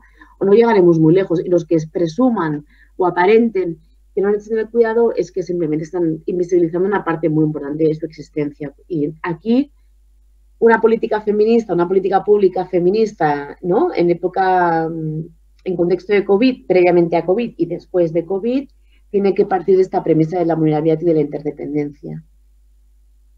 Eh, cuando no se hace, cuando se obvia esta vulnerabilidad y esta interdependencia, lo que se hace es legislar como si no eh, existiera necesidad, legislar, por ejemplo, en el mercado laboral, como si no existiera necesidad de recibir cuidado y, por otro lado, de proporcionarlo, ¿no? Eh, como hemos visto antes eh, en la caracterización que hemos hecho algunas de las dimensiones de la crisis COVID, en el momento en que no se está preveyendo que si una criatura eh, tiene que ponerse en cuarentena porque ha entrado en contacto con una persona positiva, no está previendo cómo se calendarizará que tanto en tiempo o en dinero una persona adulta pueda cuidar esta, de esta persona pequeña, pongo el ejemplo de una criatura porque no se puede cuidar sola, eh, se está dando por hecho que un sálvese quien pueda o está dando por hecho pues que a lo mejor las familias tirarán de recursos ¿no? y otra vez, podrán, otra vez volverán a sacrificarse en forma de pobreza de tiempo, de pobreza monetaria para poder respuesta a la situación. Y eso es con lo que tiene que eh, romper una política pública claramente feminista. Y un tercer elemento que a mí me parece importante, y no sé si estamos hablando suficiente o con suficiente claridad, en el contexto en el que nos encontramos, donde millones de personas han perdido de manera temporal o permanente su empleo y buena parte de sus ingresos o sus ingresos, yo creo que una, respuesta feminista a la crisis COVID eh, desde las instituciones públicas eh, tiene que ir claramente dirigida a abordar las condiciones materiales de vida de las personas. Tiene que ser una política frente a esta, este binomio, ¿no? que es un trinomio ¿no? de Fraser, de, y aquí Isa también lo comentaba, ¿no? de redistribución y, reconocimiento. Creo que la dimensión de la redistribución es fundamental ahora mismo. Eh, como ha habido, ha habido debates entre, ¿no? entre autoras feministas que esta dicotomía no tiene por qué ser excluyente, es verdad, yo estoy de acuerdo, eh, y la redistribución y el reconocimiento son complementarios, pero sí que me gustaría visibilizar o, bueno, hacer un apunte como, digamos que los, debates del movimiento feminista eh, recientemente se han visto caracterizados por, eh, digamos, por mucha violencia en torno a cuestiones más identitarias, más de reconocimiento, se han anunciado una serie de políticas públicas desde el Ministerio de Igualdad ¿no? y desde, el Gobierno de España en clave de identidades de género que han generado muchísima polémica. Yo creo que no solo es momento de priorizar las políticas materiales y de economía de los cuidados desde una perspectiva también material eh, por la emergencia social que tenemos, sino también porque son políticas que generan consenso en el feminismo, ante las cuales el feminismo sabemos cerrar filas y sabemos ponernos de acuerdo. Y creo que estas en ese sentido, una política estatal, porque ya se está trabajando a nivel municipal, desde el municipalismo y también desde el nivel autonómico, aunque en, menor medida, una política estatal de economía de los cuidados claramente feminista, no solo es urgente, sino que tiene que ser la bandera de este gobierno en el contexto eh, de crisis de los cuidados que nos ha tocado vivir. Así pues, eh, una economía eh, de los cuidados que busque superar la división entre producción y reproducción, que parte de las nociones de vulnerabilidad e interdependencia y que tenga por objetivo, como decía, dar respuesta a la situación de emergencia social y económica generada en los últimos meses. Debe ser la política bandera de un gobierno progresista y feminista. Creo que este gobierno tiene, este gobierno central, y hablo del gobierno central por temas de competencias, ¿eh? no por cuestiones de que lo esté haciendo mejor o peor que otros niveles de la administración. Eh, creo que vamos tarde en, hacer, una, hacer, hacer una, economía, una política pública de economía de los cuidados la bandera de este gobierno eh, y en, digamos, en, ser pioneras en el Estado español, porque además yo creo que, están las ideas, está el movimiento y están los, los precedentes, los precedentes para, hacerlo, para hacerlo hacer una economía de los cuidados eh, que sea claramente feminista, que ponga la vida en el centro, como se decía antes, decir que eh, es incompatible con el marco neoliberal de la, Unión Europea. Aquí se hacía referencia ¿no? a todas las condicionantes de los fondos COVID. Yo, yo, aquí no voy a entrar porque no tenemos tiempo. Yo con esto no, no estoy abogando por la seriedad de la Unión Europea. Lo que sí que estoy diciendo es que así no, digamos, con todos los condicionantes y con todos los paradigmas ¿no? en los que se enmarca Europa y la Unión Económica Europea, es imposible hacer una política de, los, eh, de, economía de los cuidados claramente feminista, con lo cual tenemos que ver aquí cómo lo trabajamos también a nivel, desde una perspectiva internacionalista y a nivel europeo, ¿no? Y ya para el último tramo de, mi presentación, eh, porque me estoy alargando, eh, a nivel más propositivo, lo que os planteaba antes, lo que trabajamos el año pasado, el año pasado, hace tres años en el Ayuntamiento de Barcelona, que de hecho pasamos, lo trabajamos hace cinco años, lo cerramos hace tres, pasamos dos años haciendo diagnóstico fue cómo hacer una política municipal transversal de economía de los cuidados a nivel municipal y que le llamamos la medida del gobierno de democratización de los cuidados. Eh, yo colaboré desde la cátedra que dirijo, desde la universidad y fue como un ejemplo de acompañamiento, ¿no? Desde la universidad y desde el activismo eh, a lo que es la política, la política pública.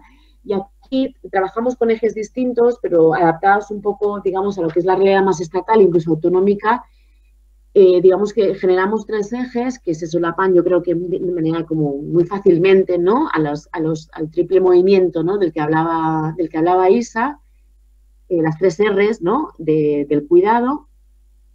Que en primer lugar sería la socialización de los cuidados, cómo socializar los cuidados. En segundo lugar, cómo reconocer su centralidad social. Y en tercer lugar, cómo eliminar la, la maldivisión social del trabajo que los caracteriza, ¿no? Muy rápidamente intentando aterrizar esto a la crisis COVID, que además pues también ha hecho referencia. Eh, en primer lugar, cuando hablamos de socialización de, los cuidados, eh, nos referimos a reducir la sobrecarga, tanto en, forma de tiempo como de dinero, de las familias de los cuidados. Las familias ya estaban sobrecargadas de cuidado antes de la pandemia, pero en los últimos meses han, estado eh, hiper sobrecargadas. ¿no?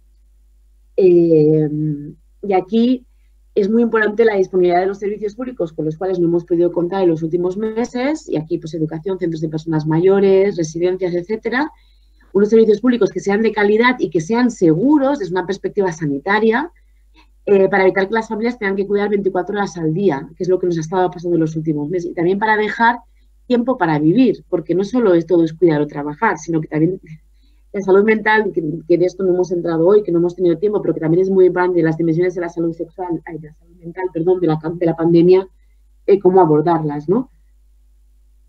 Hemos dicho que la República de Cuidado se ha visto completamente paralizada por la pandemia y que tiene que repensarse y reconstruirse para que pueda estar preparada para funcionar de manera segura en caso de que se vuelva a repetir esta situación. Y no es descartable que se vuelva a repetir esta situación por rebrotes o por otra futura pandemia.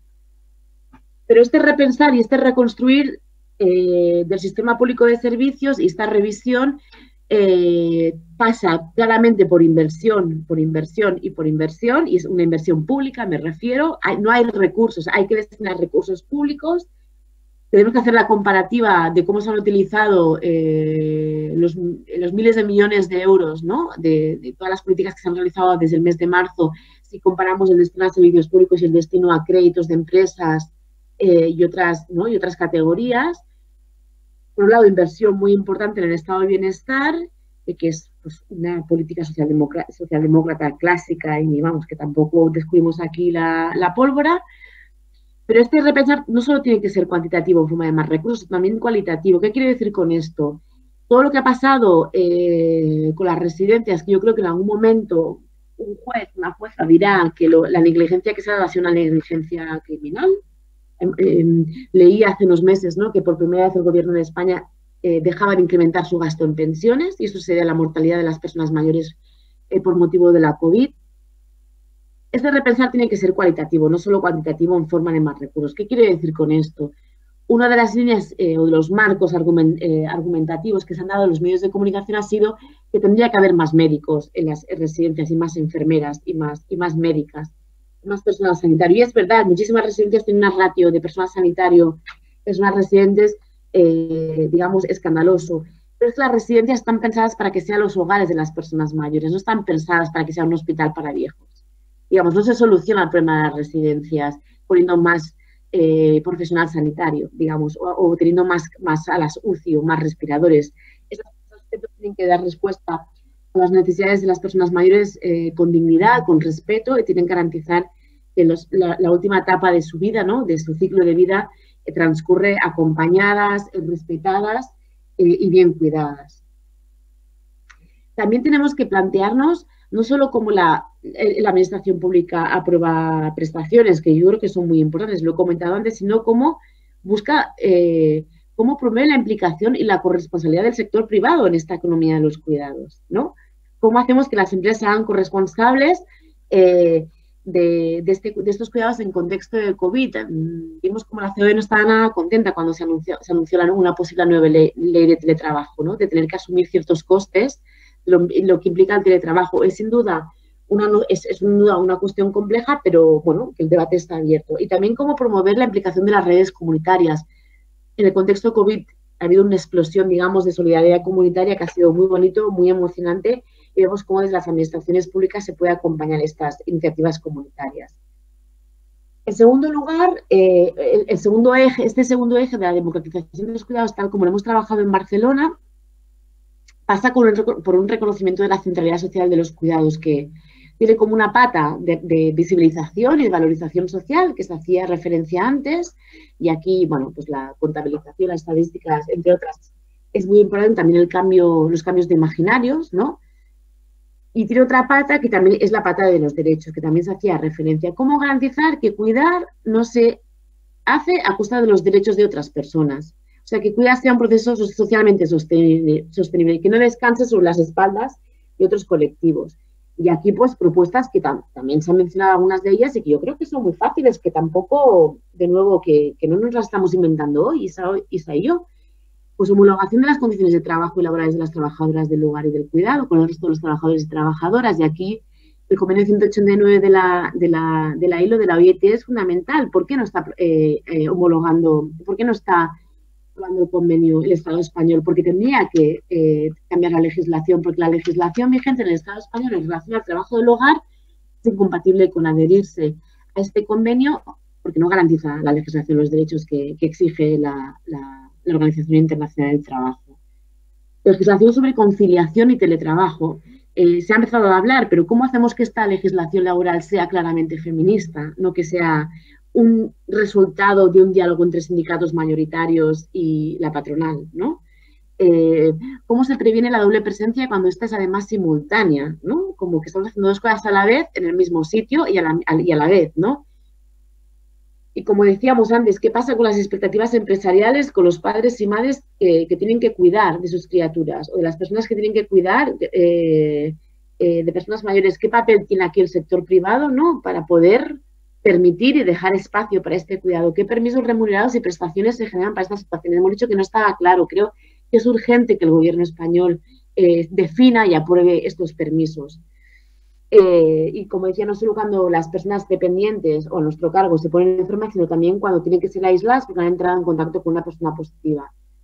Básicamente, cómo evitar que el choque de una crisis de los cuidados, que ha sido agudizada por la COVID, pueda ser absorbido por las familias, que es lo que pasó en 2008, que es lo que ha pasado este año y es lo que puede volver a pasar este invierno. Y finalmente, ya acabo, sí, seguro, el tercer eje de esta, de esta democratización de los cuidados sería cómo eliminar esta maldivisión social de los cuidados, ¿no? es una perspectiva eh, interseccional. ¿Cómo podemos interseccionar? ¿Cómo podemos trabajar para reducir la especialización de mujeres, a menudo de origen migrante, de clases populares, en el cuidado eh, pues promoviendo la implicación de otros colectivos con más poder, como los varones y la población autóctona, porque bueno, sigue siendo un trabajo eh, que no queremos hacer los sectores más privilegiados o que no quieren hacer otros sectores más privilegiados todavía. Cómo garantizar, por ejemplo, y aquí pongo solo un par de ejemplos, cómo garantizar que no sean únicamente las madres las que, las que teletrabajen y cuiden a la vez, cómo evitar que situaciones como la vivida contribuyan a ahondar desigualdades sociales previamente existentes. No todo el mundo puede conciliar de la misma manera, con lo cual las estrategias también pueden derivar en, incrementar o reducir desigualdades. Eh, y esto, pues como decía antes, eh, es aplicable tanto a las mujeres de origen migrante, que es un, sector importante del, sector de cuidados, como, como las mujeres de clases populares y esto pues como un paquete de iniciar un diseño ¿no? de una agenda política de cuidados en un contexto COVID y con, y de naturaleza claramente feminista. ¿Os parece? Pues lo dejo aquí.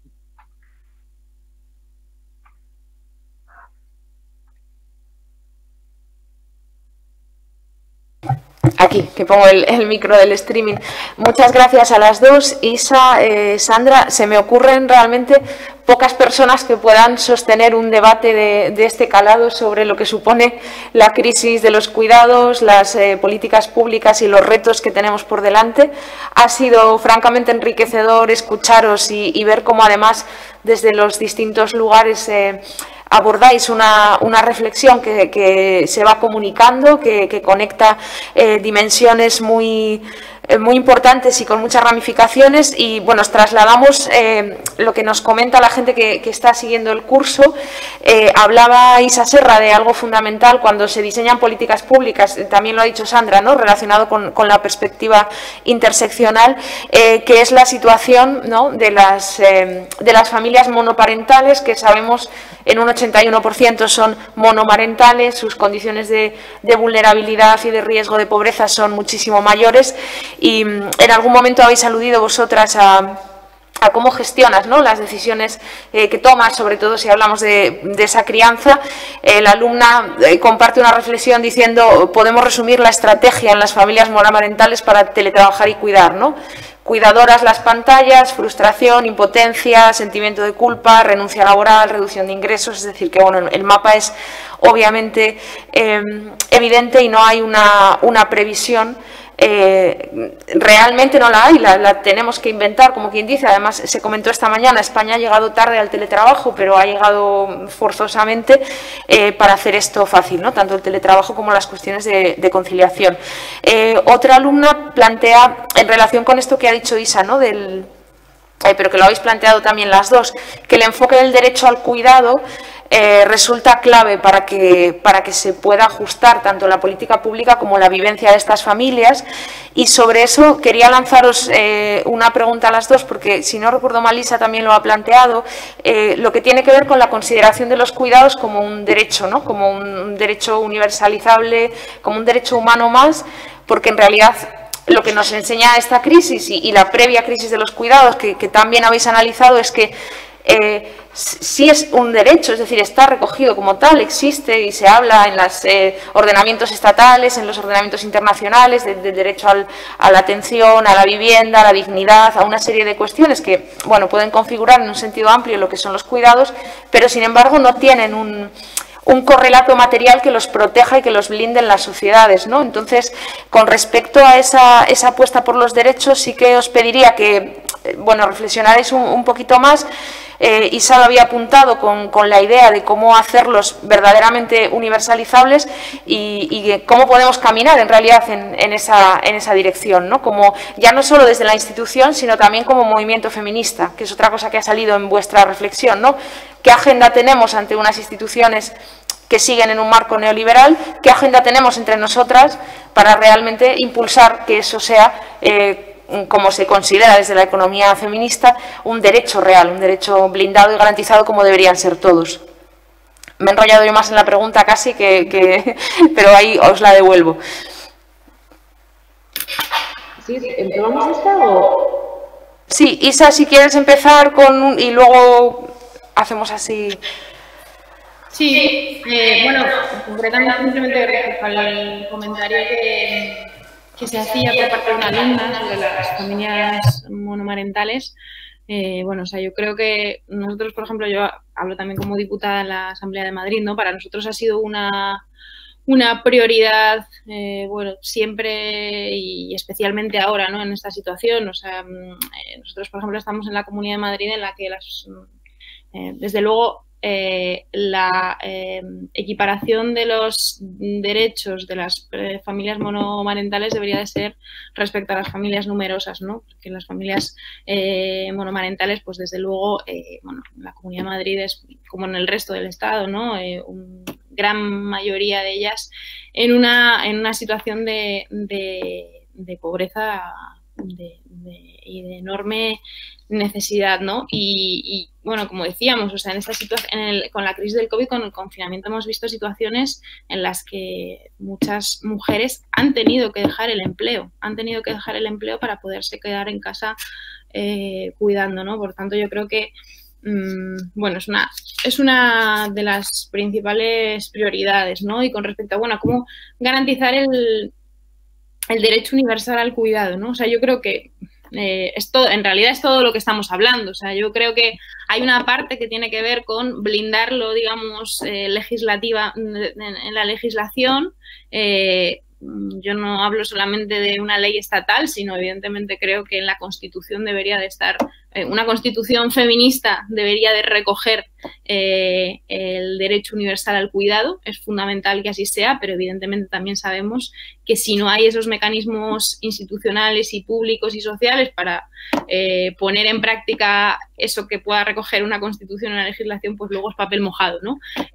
por tanto, es que yo creo que hablar de eh, derecho universal al cuidado eh, pasa por todo lo que hemos estado hablando, pasa inevitablemente por eh, cambiar la legislación laboral, pasa inevitablemente por reforzar los servicios públicos y blindarlos, pasa porque las empleadas que están en cuidados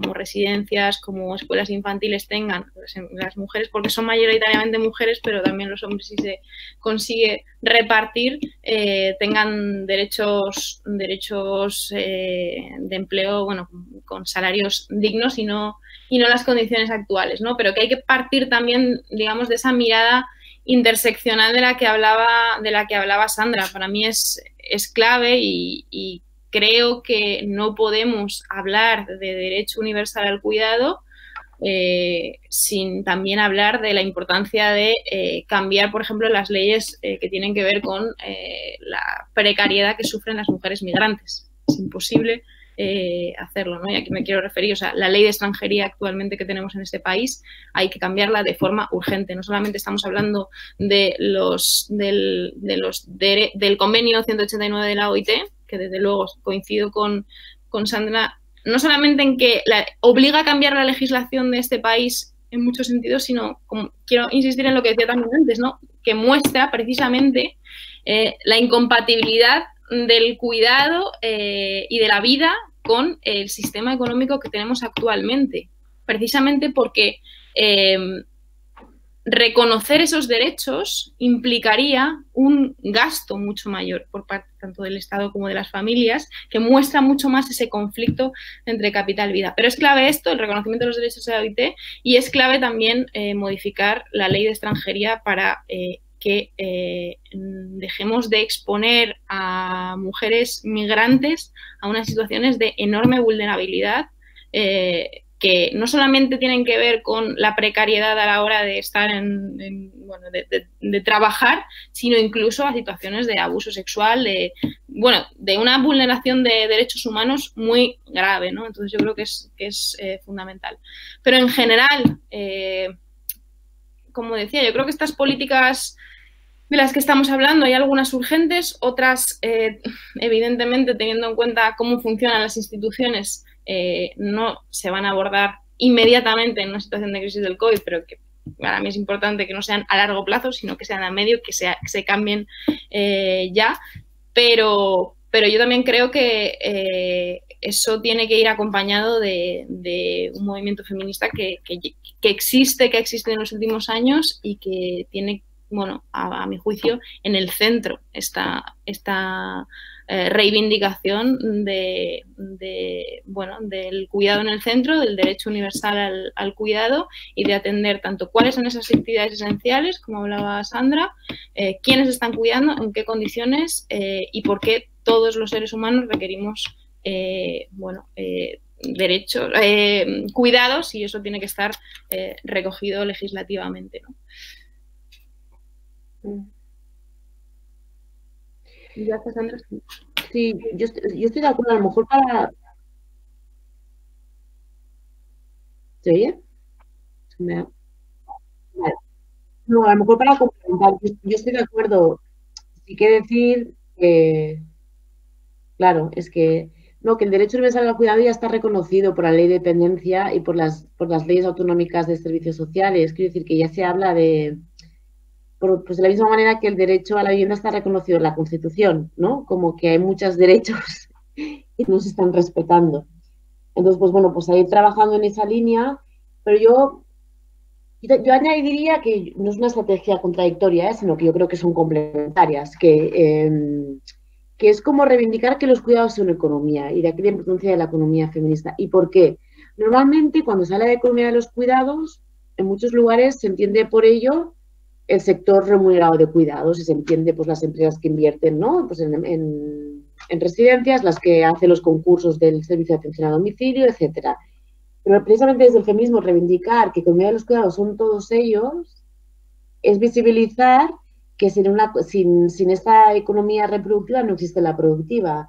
Y reivindicar que se haga desde un Ministerio de Economía, ¿no? Y que sea transversal a toda la política pública, ¿no? Y aquí que igualdad o feminismo tenga que dialogar con economía y no queden relegados entre, permitirme las comillas, porque yo pues, trabajo temas de políticas sociales, pero que no, no queden relegados a la política social marginal, ¿no? sino que sea política económica de primer orden. Yo creo que es complementario con lo que está diciendo Isa, porque es seguir empujando en reivindicar los cuidados como fundamentales para, ¿no? para el funcionamiento del sistema y como ir cambiando ese imaginario de, de, que, de que sin ellos no hay economía también, ¿no? Y no hay bienestar, con lo cual como darle, digamos, eh, pues eso, la categoría de política económica de primer orden, ¿no? Que me parece interesante como experimento, digamos, paradigmático, ¿no? Y epistemológico aquí, para, ir eh, ubicándolos en el centro. Y es muy de acuerdo con el resto que comentaba, con el resto de cosas que comentabais. Tenemos otra, otra reflexión que nos llega eh, desde las personas, desde el público. Bueno, comienza dándoos las gracias a las dos eh, os leo la reflexión, ¿vale? Y os que os traslada una, pregunta. Dice, la respuesta informal colectiva ha venido a suplir la carencia o saturación de un sistema formal estructurado de cuidados.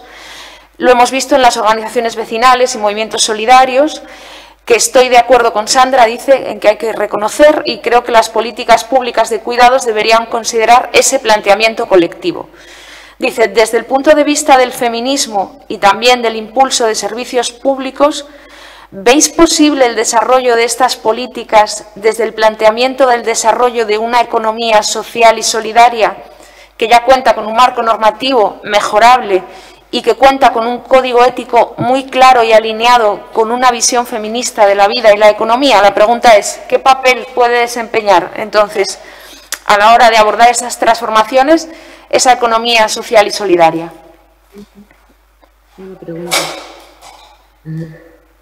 Como queráis, responded en el orden que, consideréis. Eh, sí, sí, es muy importante. Además que la economía feminista y la economía social y solidaria comparten muchos planteamientos, ¿no? Y de hecho la economía social y solidaria ha empezado en los últimos años a beber mucho de esta economía feminista y a, incorporarla. Eh, muy de acuerdo de, economías economías no lucrativas, economías no explotadoras, economías respetuosas con el medio ambiente, economías respetuosas con procesos sociales de reproducción social y de bienestar, eh, que parten de otras eh, economías de proximidad, fines al territorio, en el sentido de dar respuesta ¿no? a las necesidades y a las características del territorio más inmediato, no lo que está pasando a 5.000 kilómetros de distancia, eh, y que tengan en cuenta la justicia social y la justicia laboral. Yo, estoy muy de acuerdo. creo que la economía social y solidaria tiene que ser aquí, bueno, es central y tiene que ser central. Un problema que tiene es que, de hecho, está hiperconcentrada en los cuidados y en, otros, en otras dimensiones del sector eh, justicia y que tiene que conquistar y eh, el lenguaje, ¿no? Así bélico, pero en clave, ¿no? De política, eh, pues otros, otros, otros sectores económicos que ahora mismo, en los que ahora mismo no tiene presencia, como puede ser la construcción, como puede ser las infraestructuras, ¿no? Donde son desafortunadamente las grandes empresas con ánimo de lucro que, tienen absolutamente monopolizado ¿no? Eh, los sectores y las, cadenas, las altas cadenas de valor. Eh, o sea, que están muy concentradas en sectores más precarizados, pero también sectores como con alto valor social. Con lo cual, aquí, cómo, cómo, cómo poder eh, invadir ¿no? o entrar en, otros, en otras áreas de la economía y por otro lado, también decir sí a la economía social y solidaria, pero también como visibilizar la, digamos, la dimensión no monetaria de la economía, que es, la, es toda la parte comunitaria. Cuando yo hablaba de comunidades, es, incluye la economía solidaria, la economía social y solidaria, pero también las redes comunitarias que se han visto debilitadas en, los últimos, en las últimas décadas, ¿no? Como desde las administraciones públicas no solo se puede priorizar una economía no lucrativa y una economía redistributiva, horizontal, respetuosa, feminista, sino también cómo se puede acompañar la reconstrucción de lazos comunitarios eh, que, acompañen ese cuidado y que hagan que ese cuidado eh, no sea tan solitario, tan aislado. Hablando de las familias, del, ejemplo de las, familias monomarentales, pues qué diferente sería la realidad de cualquier familia con criaturas y particularmente las familias monomarentales estuvieran rodeadas de una comunidad fuerte que las acompaña ¿no? y, que, y que hace suyo, parcialmente suyo su cuidado. Y aquí yo creo que desde la administración pública hay, un hay recorrido, hay margen para hacer una apuesta por acompañar la reconstrucción de estas comunidades y también las que están luchando por, sobrevivir, digamos, eh, ayudarlas a, seguir fuertes y sólidas. Sí, yo por, por añadir a lo que decía Sandra, bueno, o sea, yo creo que importante, también comparto la importancia de apostar por la economía social y solidaria. También como decía Sandra, ¿no? O sea, las redes comunitarias más allá del mercado y en ese sentido todo lo que es la bueno, todo lo que son los recortes de lo público, la precarización, dificulta esas redes comunitarias, ¿no? Que dificulta la vida más allá de, de, dedicarse a soportar, eh, a sobrevivir y a, y a, estar mm, viviendo para el mercado laboral o para sostener lo que no sostiene el Estado, ¿no? Por tanto, fundamental las redes eh, comunitarias, eh, pero digamos, eso se ayuda si se sostiene por parte del Estado y si hay una, digamos, un sistema, eh, bueno, un empleo remunerado con derechos y no como lo que tenemos actualmente que lo dificulta, ¿no? Pero además, creo que es muy importante eh, la economía social y solidaria porque creo que, o sea, por ejemplo, las residencias es evidente, Sandra también hablaba, ¿no? Las residencias tenemos un modelo de negocio de grandes empresas que mm, no tienen eh, por objetivo, digamos, ni, o sea, ni siquiera tienen un proyecto adecuado a lo que están haciendo. Eh, son empresas que se pueden dedicar eh, desde la limpieza, cuidado de mayores, pero también a la construcción, ¿no? Son una, filial de una empresa de construcción. Entonces, bueno, el caso de Florentino Pérez es evidente, ¿no? Y por tanto, se muestra mucho más cómo eh, esa empresa no tiene un proyecto concreto eh, para hacer un proyecto de calidad, un cuidado de calidad, porque no tiene ese interés, sino que el interés es hacer negocio, para grandes fondos buitres, grandes empresas, etcétera, ¿no? Y eso, ese modelo de negocio de grandes empresas, eh, genera una distancia evidente entre, ya digo, eh, quién, quién, esa empresa que, tiene que cuidar, supuestamente, eh, con el, el, trabajo que tiene que desarrollar, ¿no? Y una distancia entre los intereses de ese negocio con lo que deberían ser los intereses para cuidar eh, a, esas, esas personas. Y es fundamental reducir en distancia y reducir, digamos, eh, esos espacios de cuidado, ¿no? O sea, esto, por ejemplo, eh, con las residencias es evidente, no pueden existir residencias con tantas plazas. las residencias tienen que ser mucho más chiquititas para eh, que sean hogares realmente, ¿no? Sandra decía, estos no son hospitales para personas mayores, no, no, son hogares, son sus, son sus hogares. Y pasa, por ejemplo, igual con el sistema de protección de la infancia, ¿no? Son grandes centros que no permite realmente eh, pues eh, apoyar el desarrollo de, la infancia, en este caso vulnerable, cuando están dentro del sistema de protección. ¿no? Necesitamos avanzar hacia un sistema mucho más chiquitín que realmente permita acercarnos a esa mm, vulnerabilidad que tenemos todos como, como, seres eh, humanos y a los cuidados que, a los cuidados que, necesitamos. Em, y, luego, aparte, creo que por parte de, la bueno, de la sociedad eh, mm, se, desarrollan, digamos, como, como a partir de las redes comunitarias también experiencias que son que hay que incorporar, ¿no? Por ejemplo, estábamos hablando del tema de, mm, bueno, ha hablado Sandra de que ha sido madre en los, últimos, en los últimos mm, meses, yo también, hemos sido las dos, y bueno, ahora como, como nosotras, hay muchas madres también mm, preguntándose, por ejemplo, eh, sobre el cuidado de, de, los, de los niños en una situación de incertidumbre como la que estamos viviendo, con las escuelas infantiles que no sabemos si van a cerrar, etc. Y hay experiencias también, como son eh, cuidados eh, más desde una cercanía mucho mayor, desde, bueno, experiencias de, bueno, desde luego que bajan muchísimo el ratio respecto a las escuelas infantiles, que es mucho más beneficioso eh, a mi juicio, para la infancia y para el cuidado, eh, y eso es algo que eh, deberíamos de tener en cuenta a la hora de pensar un sistema de cuidados para la infancia, una, una, posibilidad de que desde luego no sean grandes escuelas infantiles, sino de que haya un cuidado mucho más cercano para que haya un vínculo también de la persona que está cuidando con la, con la infancia que es cuidada.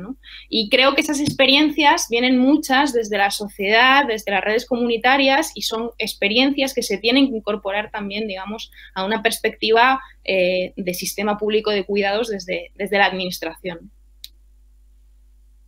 Mm. Yo creo que aquí es interesante también destacar eh, aquí la importancia del municipalismo, que a lo mejor en, lo que son las administraciones centrales puede quedar como muy lejano, pero sí que es verdad, pues ahora lo que comenta Isa, ¿no? Pues ahora me hace pensar pues en las madres de día o en, los grupos de crianza, los grupos de crianza compartida que las grandes ciudades pues, han surgido de manera muy potente en los últimos años y la política eh, municipalista de los últimos años, que bueno, pues en algunos lugares ha sido como, ha tenido más éxito que en otros, ¿no? O se ha podido mantener no deja de ser, el municipalismo no deja de ser la política de proximidad, ¿no? Y no, es tanto la política municipal, sino la política de proximidad y la, política que potencia lo comunitario, lo que es cercanía, ¿no? yo creo que ahí también pues, hay mucho que aprender de las experiencias de políticas municipales de los últimos años que se pueden, digamos, de incorporar o acompañar desde, desde instancias políticas que son más macro y que no son dando gobiernos de proximidad, pero que sí que tienen los recursos y las redes para poder unificar y, y enlazar experiencias. Os agradezco mucho este alegato final por lo comunitario y lo municipal, porque efectivamente, eh, bueno, habrá tiempo para reflexionar muchas cuestiones sobre esta crisis y entre ellas el papel que han desempeñado los ayuntamientos como esa primera barrera de, ¿no? de contención de la ciudadanía desbordada Em, sus eh, servicios sociales, sus, bueno, sus trabajadoras de la ayuda a, domicilio y todo lo que a través de, lo municipal, de esa política de proximidad, se, podría canalizar. Eh, os doy las gracias a ambas por, por este rato fantástico de reflexión y de compartir mm, puntos de vista muy sólidos, muy solventes, que vienen a demostrar lo que bueno, vosotras mismas habéis expuesto. ¿no? El feminismo lleva eh, años, décadas diagnosticando un sistema económico voraz e infame, contrario a la vida, ofreciendo alternativas. Estamos en el momento de que ojalá ¿no? esta, esta sacudida de la pandemia nos sirva para encaminar hacia, hacia hacia un modelo justo, feminista de, economía, de vida y de sociedad. Y bueno, eh, tener el análisis desde luego es fundamental para impulsar esas eh, políticas públicas. Nada, nos quedan escasos minutos. Si queréis, eh, para cumplir con la hora, quedarán diez. Si os queréis despedir cada una con una reflexión, breve, breve reflexión final, os agradecemos muchísimo en, todo caso el, rato que, y la conversación que habéis establecido. Bueno, pues nada, muchísimas gracias eh, a vosotros por invitarnos a, este seminario y conversar un rato. Eh, bueno, también muchísimas gracias a Sandra por, estar conmigo y poder hablar un rato. Eh, yo creo que lo importante, como, simplemente como, idea final y como reflexión, creo que el movimiento feminista en los últimos años ha tenido una potencia enorme que es un movimiento que no está aquí, evidentemente está en todo el mundo, pero que tiene una capacidad de plantear un proyecto de sociedad alternativo más igualitario para el conjunto de la sociedad y mejor para el conjunto. cuando hablamos de, cuidados, no estamos hablando solamente de cómo mejorar eh, la situación que viven las mujeres, que, son, que, que cargan cómo avanzar de los género. Y, y creo que es un momento de crisis del COVID que evidentemente está cambiando todo. Eh, no habíamos vivido este momento nunca. Eh, eso nos genera incertidumbre, nos genera muchos cambios y, creo que evidentemente en, momentos de crisis eh, llegan siempre las voces que dicen que el feminismo, digamos, bueno, digamos que se echa a un lado, que hay cosas más urgentes que hablar de feminismo, ¿no? Pero es lo que decía Sandra, en esta crisis precisamente se está visibilizando eh, mucho más esa crisis de cuidados. Eso no quiere decir que se esté reconociendo por parte de, eh, como debería ser, por parte de quienes están dirigiendo, digamos, todo esto. Es decir, falta mucho para, para tener una, unas políticas que se enfrenten a la crisis en términos de políticas feministas como debería ser. Eh, pero creo que en este momento en el que muchas voces salen a decir, aparte ese feminismo, que hay temas más importantes y, sobre todo también desde un punto de vista cultural, ¿no? Eh, que, necesitamos seguridad y eso nos lo aportan los hombres y no tanto las mujeres y eso nos lo aporta eh, una forma de, entender el, mundo mucho más androcéntrica que lo que aporta el feminismo. Creo que, bueno, que tenemos una responsabilidad como, como feministas, como movimiento feminista, como personas que están desde las instituciones peleando por, por mejorar nuestra sociedad y es reivindicar eh, la centralidad del feminismo a la hora de salir de, la crisis del COVID, ¿no? que yo creo que de, salir de la crisis del COVID y desde luego que la eh, nueva normalidad o hacia donde vayamos sea mucho mejor que de donde venimos, no, eh, no, sea, no sea igual. Y, bueno, creo que, creo que esa es eh, una tarea que no es menor porque evidentemente estamos en una situación complicada, pero que, pero que es fundamental. Y, creo que hemos avanzado mucho en los últimos años como para que, para que lo podamos hacer, ¿no? Pero que, bueno, creo que desde una perspectiva crítica eh, a las políticas que se están poniendo en marcha, eh, lo vamos a hacer desde luego muchísimo mejor. Y ya digo, también contando con, con el movimiento feminista que, que está más allá de las instituciones. Mm. Pues bueno, retirar las gracias por invitarnos, estar aquí a, todas vosotras. Y pues mira, yo pensaba en cerrar precisamente interpelando a estas personas que están en las instituciones, ¿no? Aprovechando, mira, que, que Isa es diputada en la Comunidad de Madrid y que el seminario lo organiza el Instituto de la Mujer, ¿no? Y pues, con el Ministerio de Igualdad. Yo, desde la mirada constructiva, desde la sororidad, siento que la perspectiva feminista está muy ausente en la política económica y social que se está realizando en este país desde el mes de marzo. Eh, creo que hay material y potencia de sobra en el movimiento feminista, ¿no? Y a nivel de calle, de academia, de espacios, como para alimentar una política feminista potente. Creo que es muy complicado hacerlo en el contexto, ¿no? Pues eso, restricciones de fondos europeos, eh, clima político, etcétera, pero sí que hacer como lanzar una lanza, ¿no? A las, a las feministas que estáis en las instituciones para que sigáis empujando y bueno, con todo el apoyo de las que, de las que estamos fuera, ¿no? creo que es un momento muy, o sea, que estratégicamente, como intenté explicar en mi intervención, como que civiliza esta importancia de los cuidados y ahora que la falta como una priorización para desde, las, donde hay altavoz, ¿no? Y capacidad de realizar cambios, de, empujar para poder mm, construir esta agenda, agenda política feminista de cuidados en España. Digamos que me parece que, la situación lo necesita y, creo que un gobierno de izquierdas, además, que no es monolítico, eh, ¿no? y con una trayectoria más rebelde ¿no? que un, gobierno pues, que haya, partidos que hayan gobernado toda la vida, creo que es un momento para, que, para empujar bien fuerte, para picar piedra, para, salir con esta agenda feminista de cuidados eh, en nuestro país.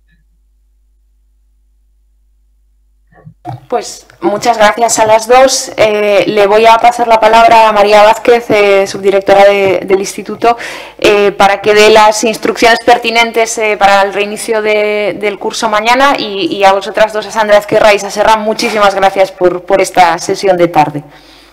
A vosotras. Muchas gracias. Gracias. Muchas gracias, Alba. Bueno, lo en primer lugar, muchas gracias al público que está conectado esta tarde, que se han unido personas de Irlanda, Colombia, Argentina y Estados Unidos. Para ellas, recordarles que por la diferencia horaria quizás no pueden asistir en directo a la jornada de por la mañana, pero que los vídeos de todas las ponencias estarán disponibles hasta final de año en la página web de la, de la WIM y en los próximos días eh, también estarán disponibles en el canal de YouTube del Instituto de la Mujer. Así que aquellas personas que por diferencia horaria o por otras cuestiones no puedan asistir en directo, podéis consultar los vídeos eh, tanto en, la universidad como en el Instituto de la Mujer. Y por otra parte, disculparme eh, a algunas de las personas que han escrito a través del chat que han estado muy activas esta tarde porque no ha dado tiempo a abordar todos los planteamientos que han trasladado sobre familiar, especificidad de las familias monoparentales, la posibilidad de que las personas cuidadas a vez víctimas de violencia por parte de las personas que ejercen los cuidados, eh, parte de la comunidad educativa que ha hablado de los ratios en, las aulas ahora con la, con la pandemia y el regreso a las aulas. Entonces, agradeceros vuestra participación en el chat, pero lamentar que por, por razones de tiempo no se han podido abordar todas las cuestiones. Y para terminar, eh, os invitamos a que nos acompañéis de nuevo mañana a partir de las nueve y media, eh, que empezaremos con la ponencia de las políticas públicas feministas de los, de los organismos de igualdad y para ello tendremos con nosotras a Nuria Varela, directora del Instituto Asturiano de la Mujer y a Kika Fumero, directora del Instituto Canario de Igualdad. Entonces, eh, lo dejamos aquí. Muchas gracias a todos vosotros por vuestra participación y nos vemos aquí mañana a partir de las nueve y media. Muchas gracias.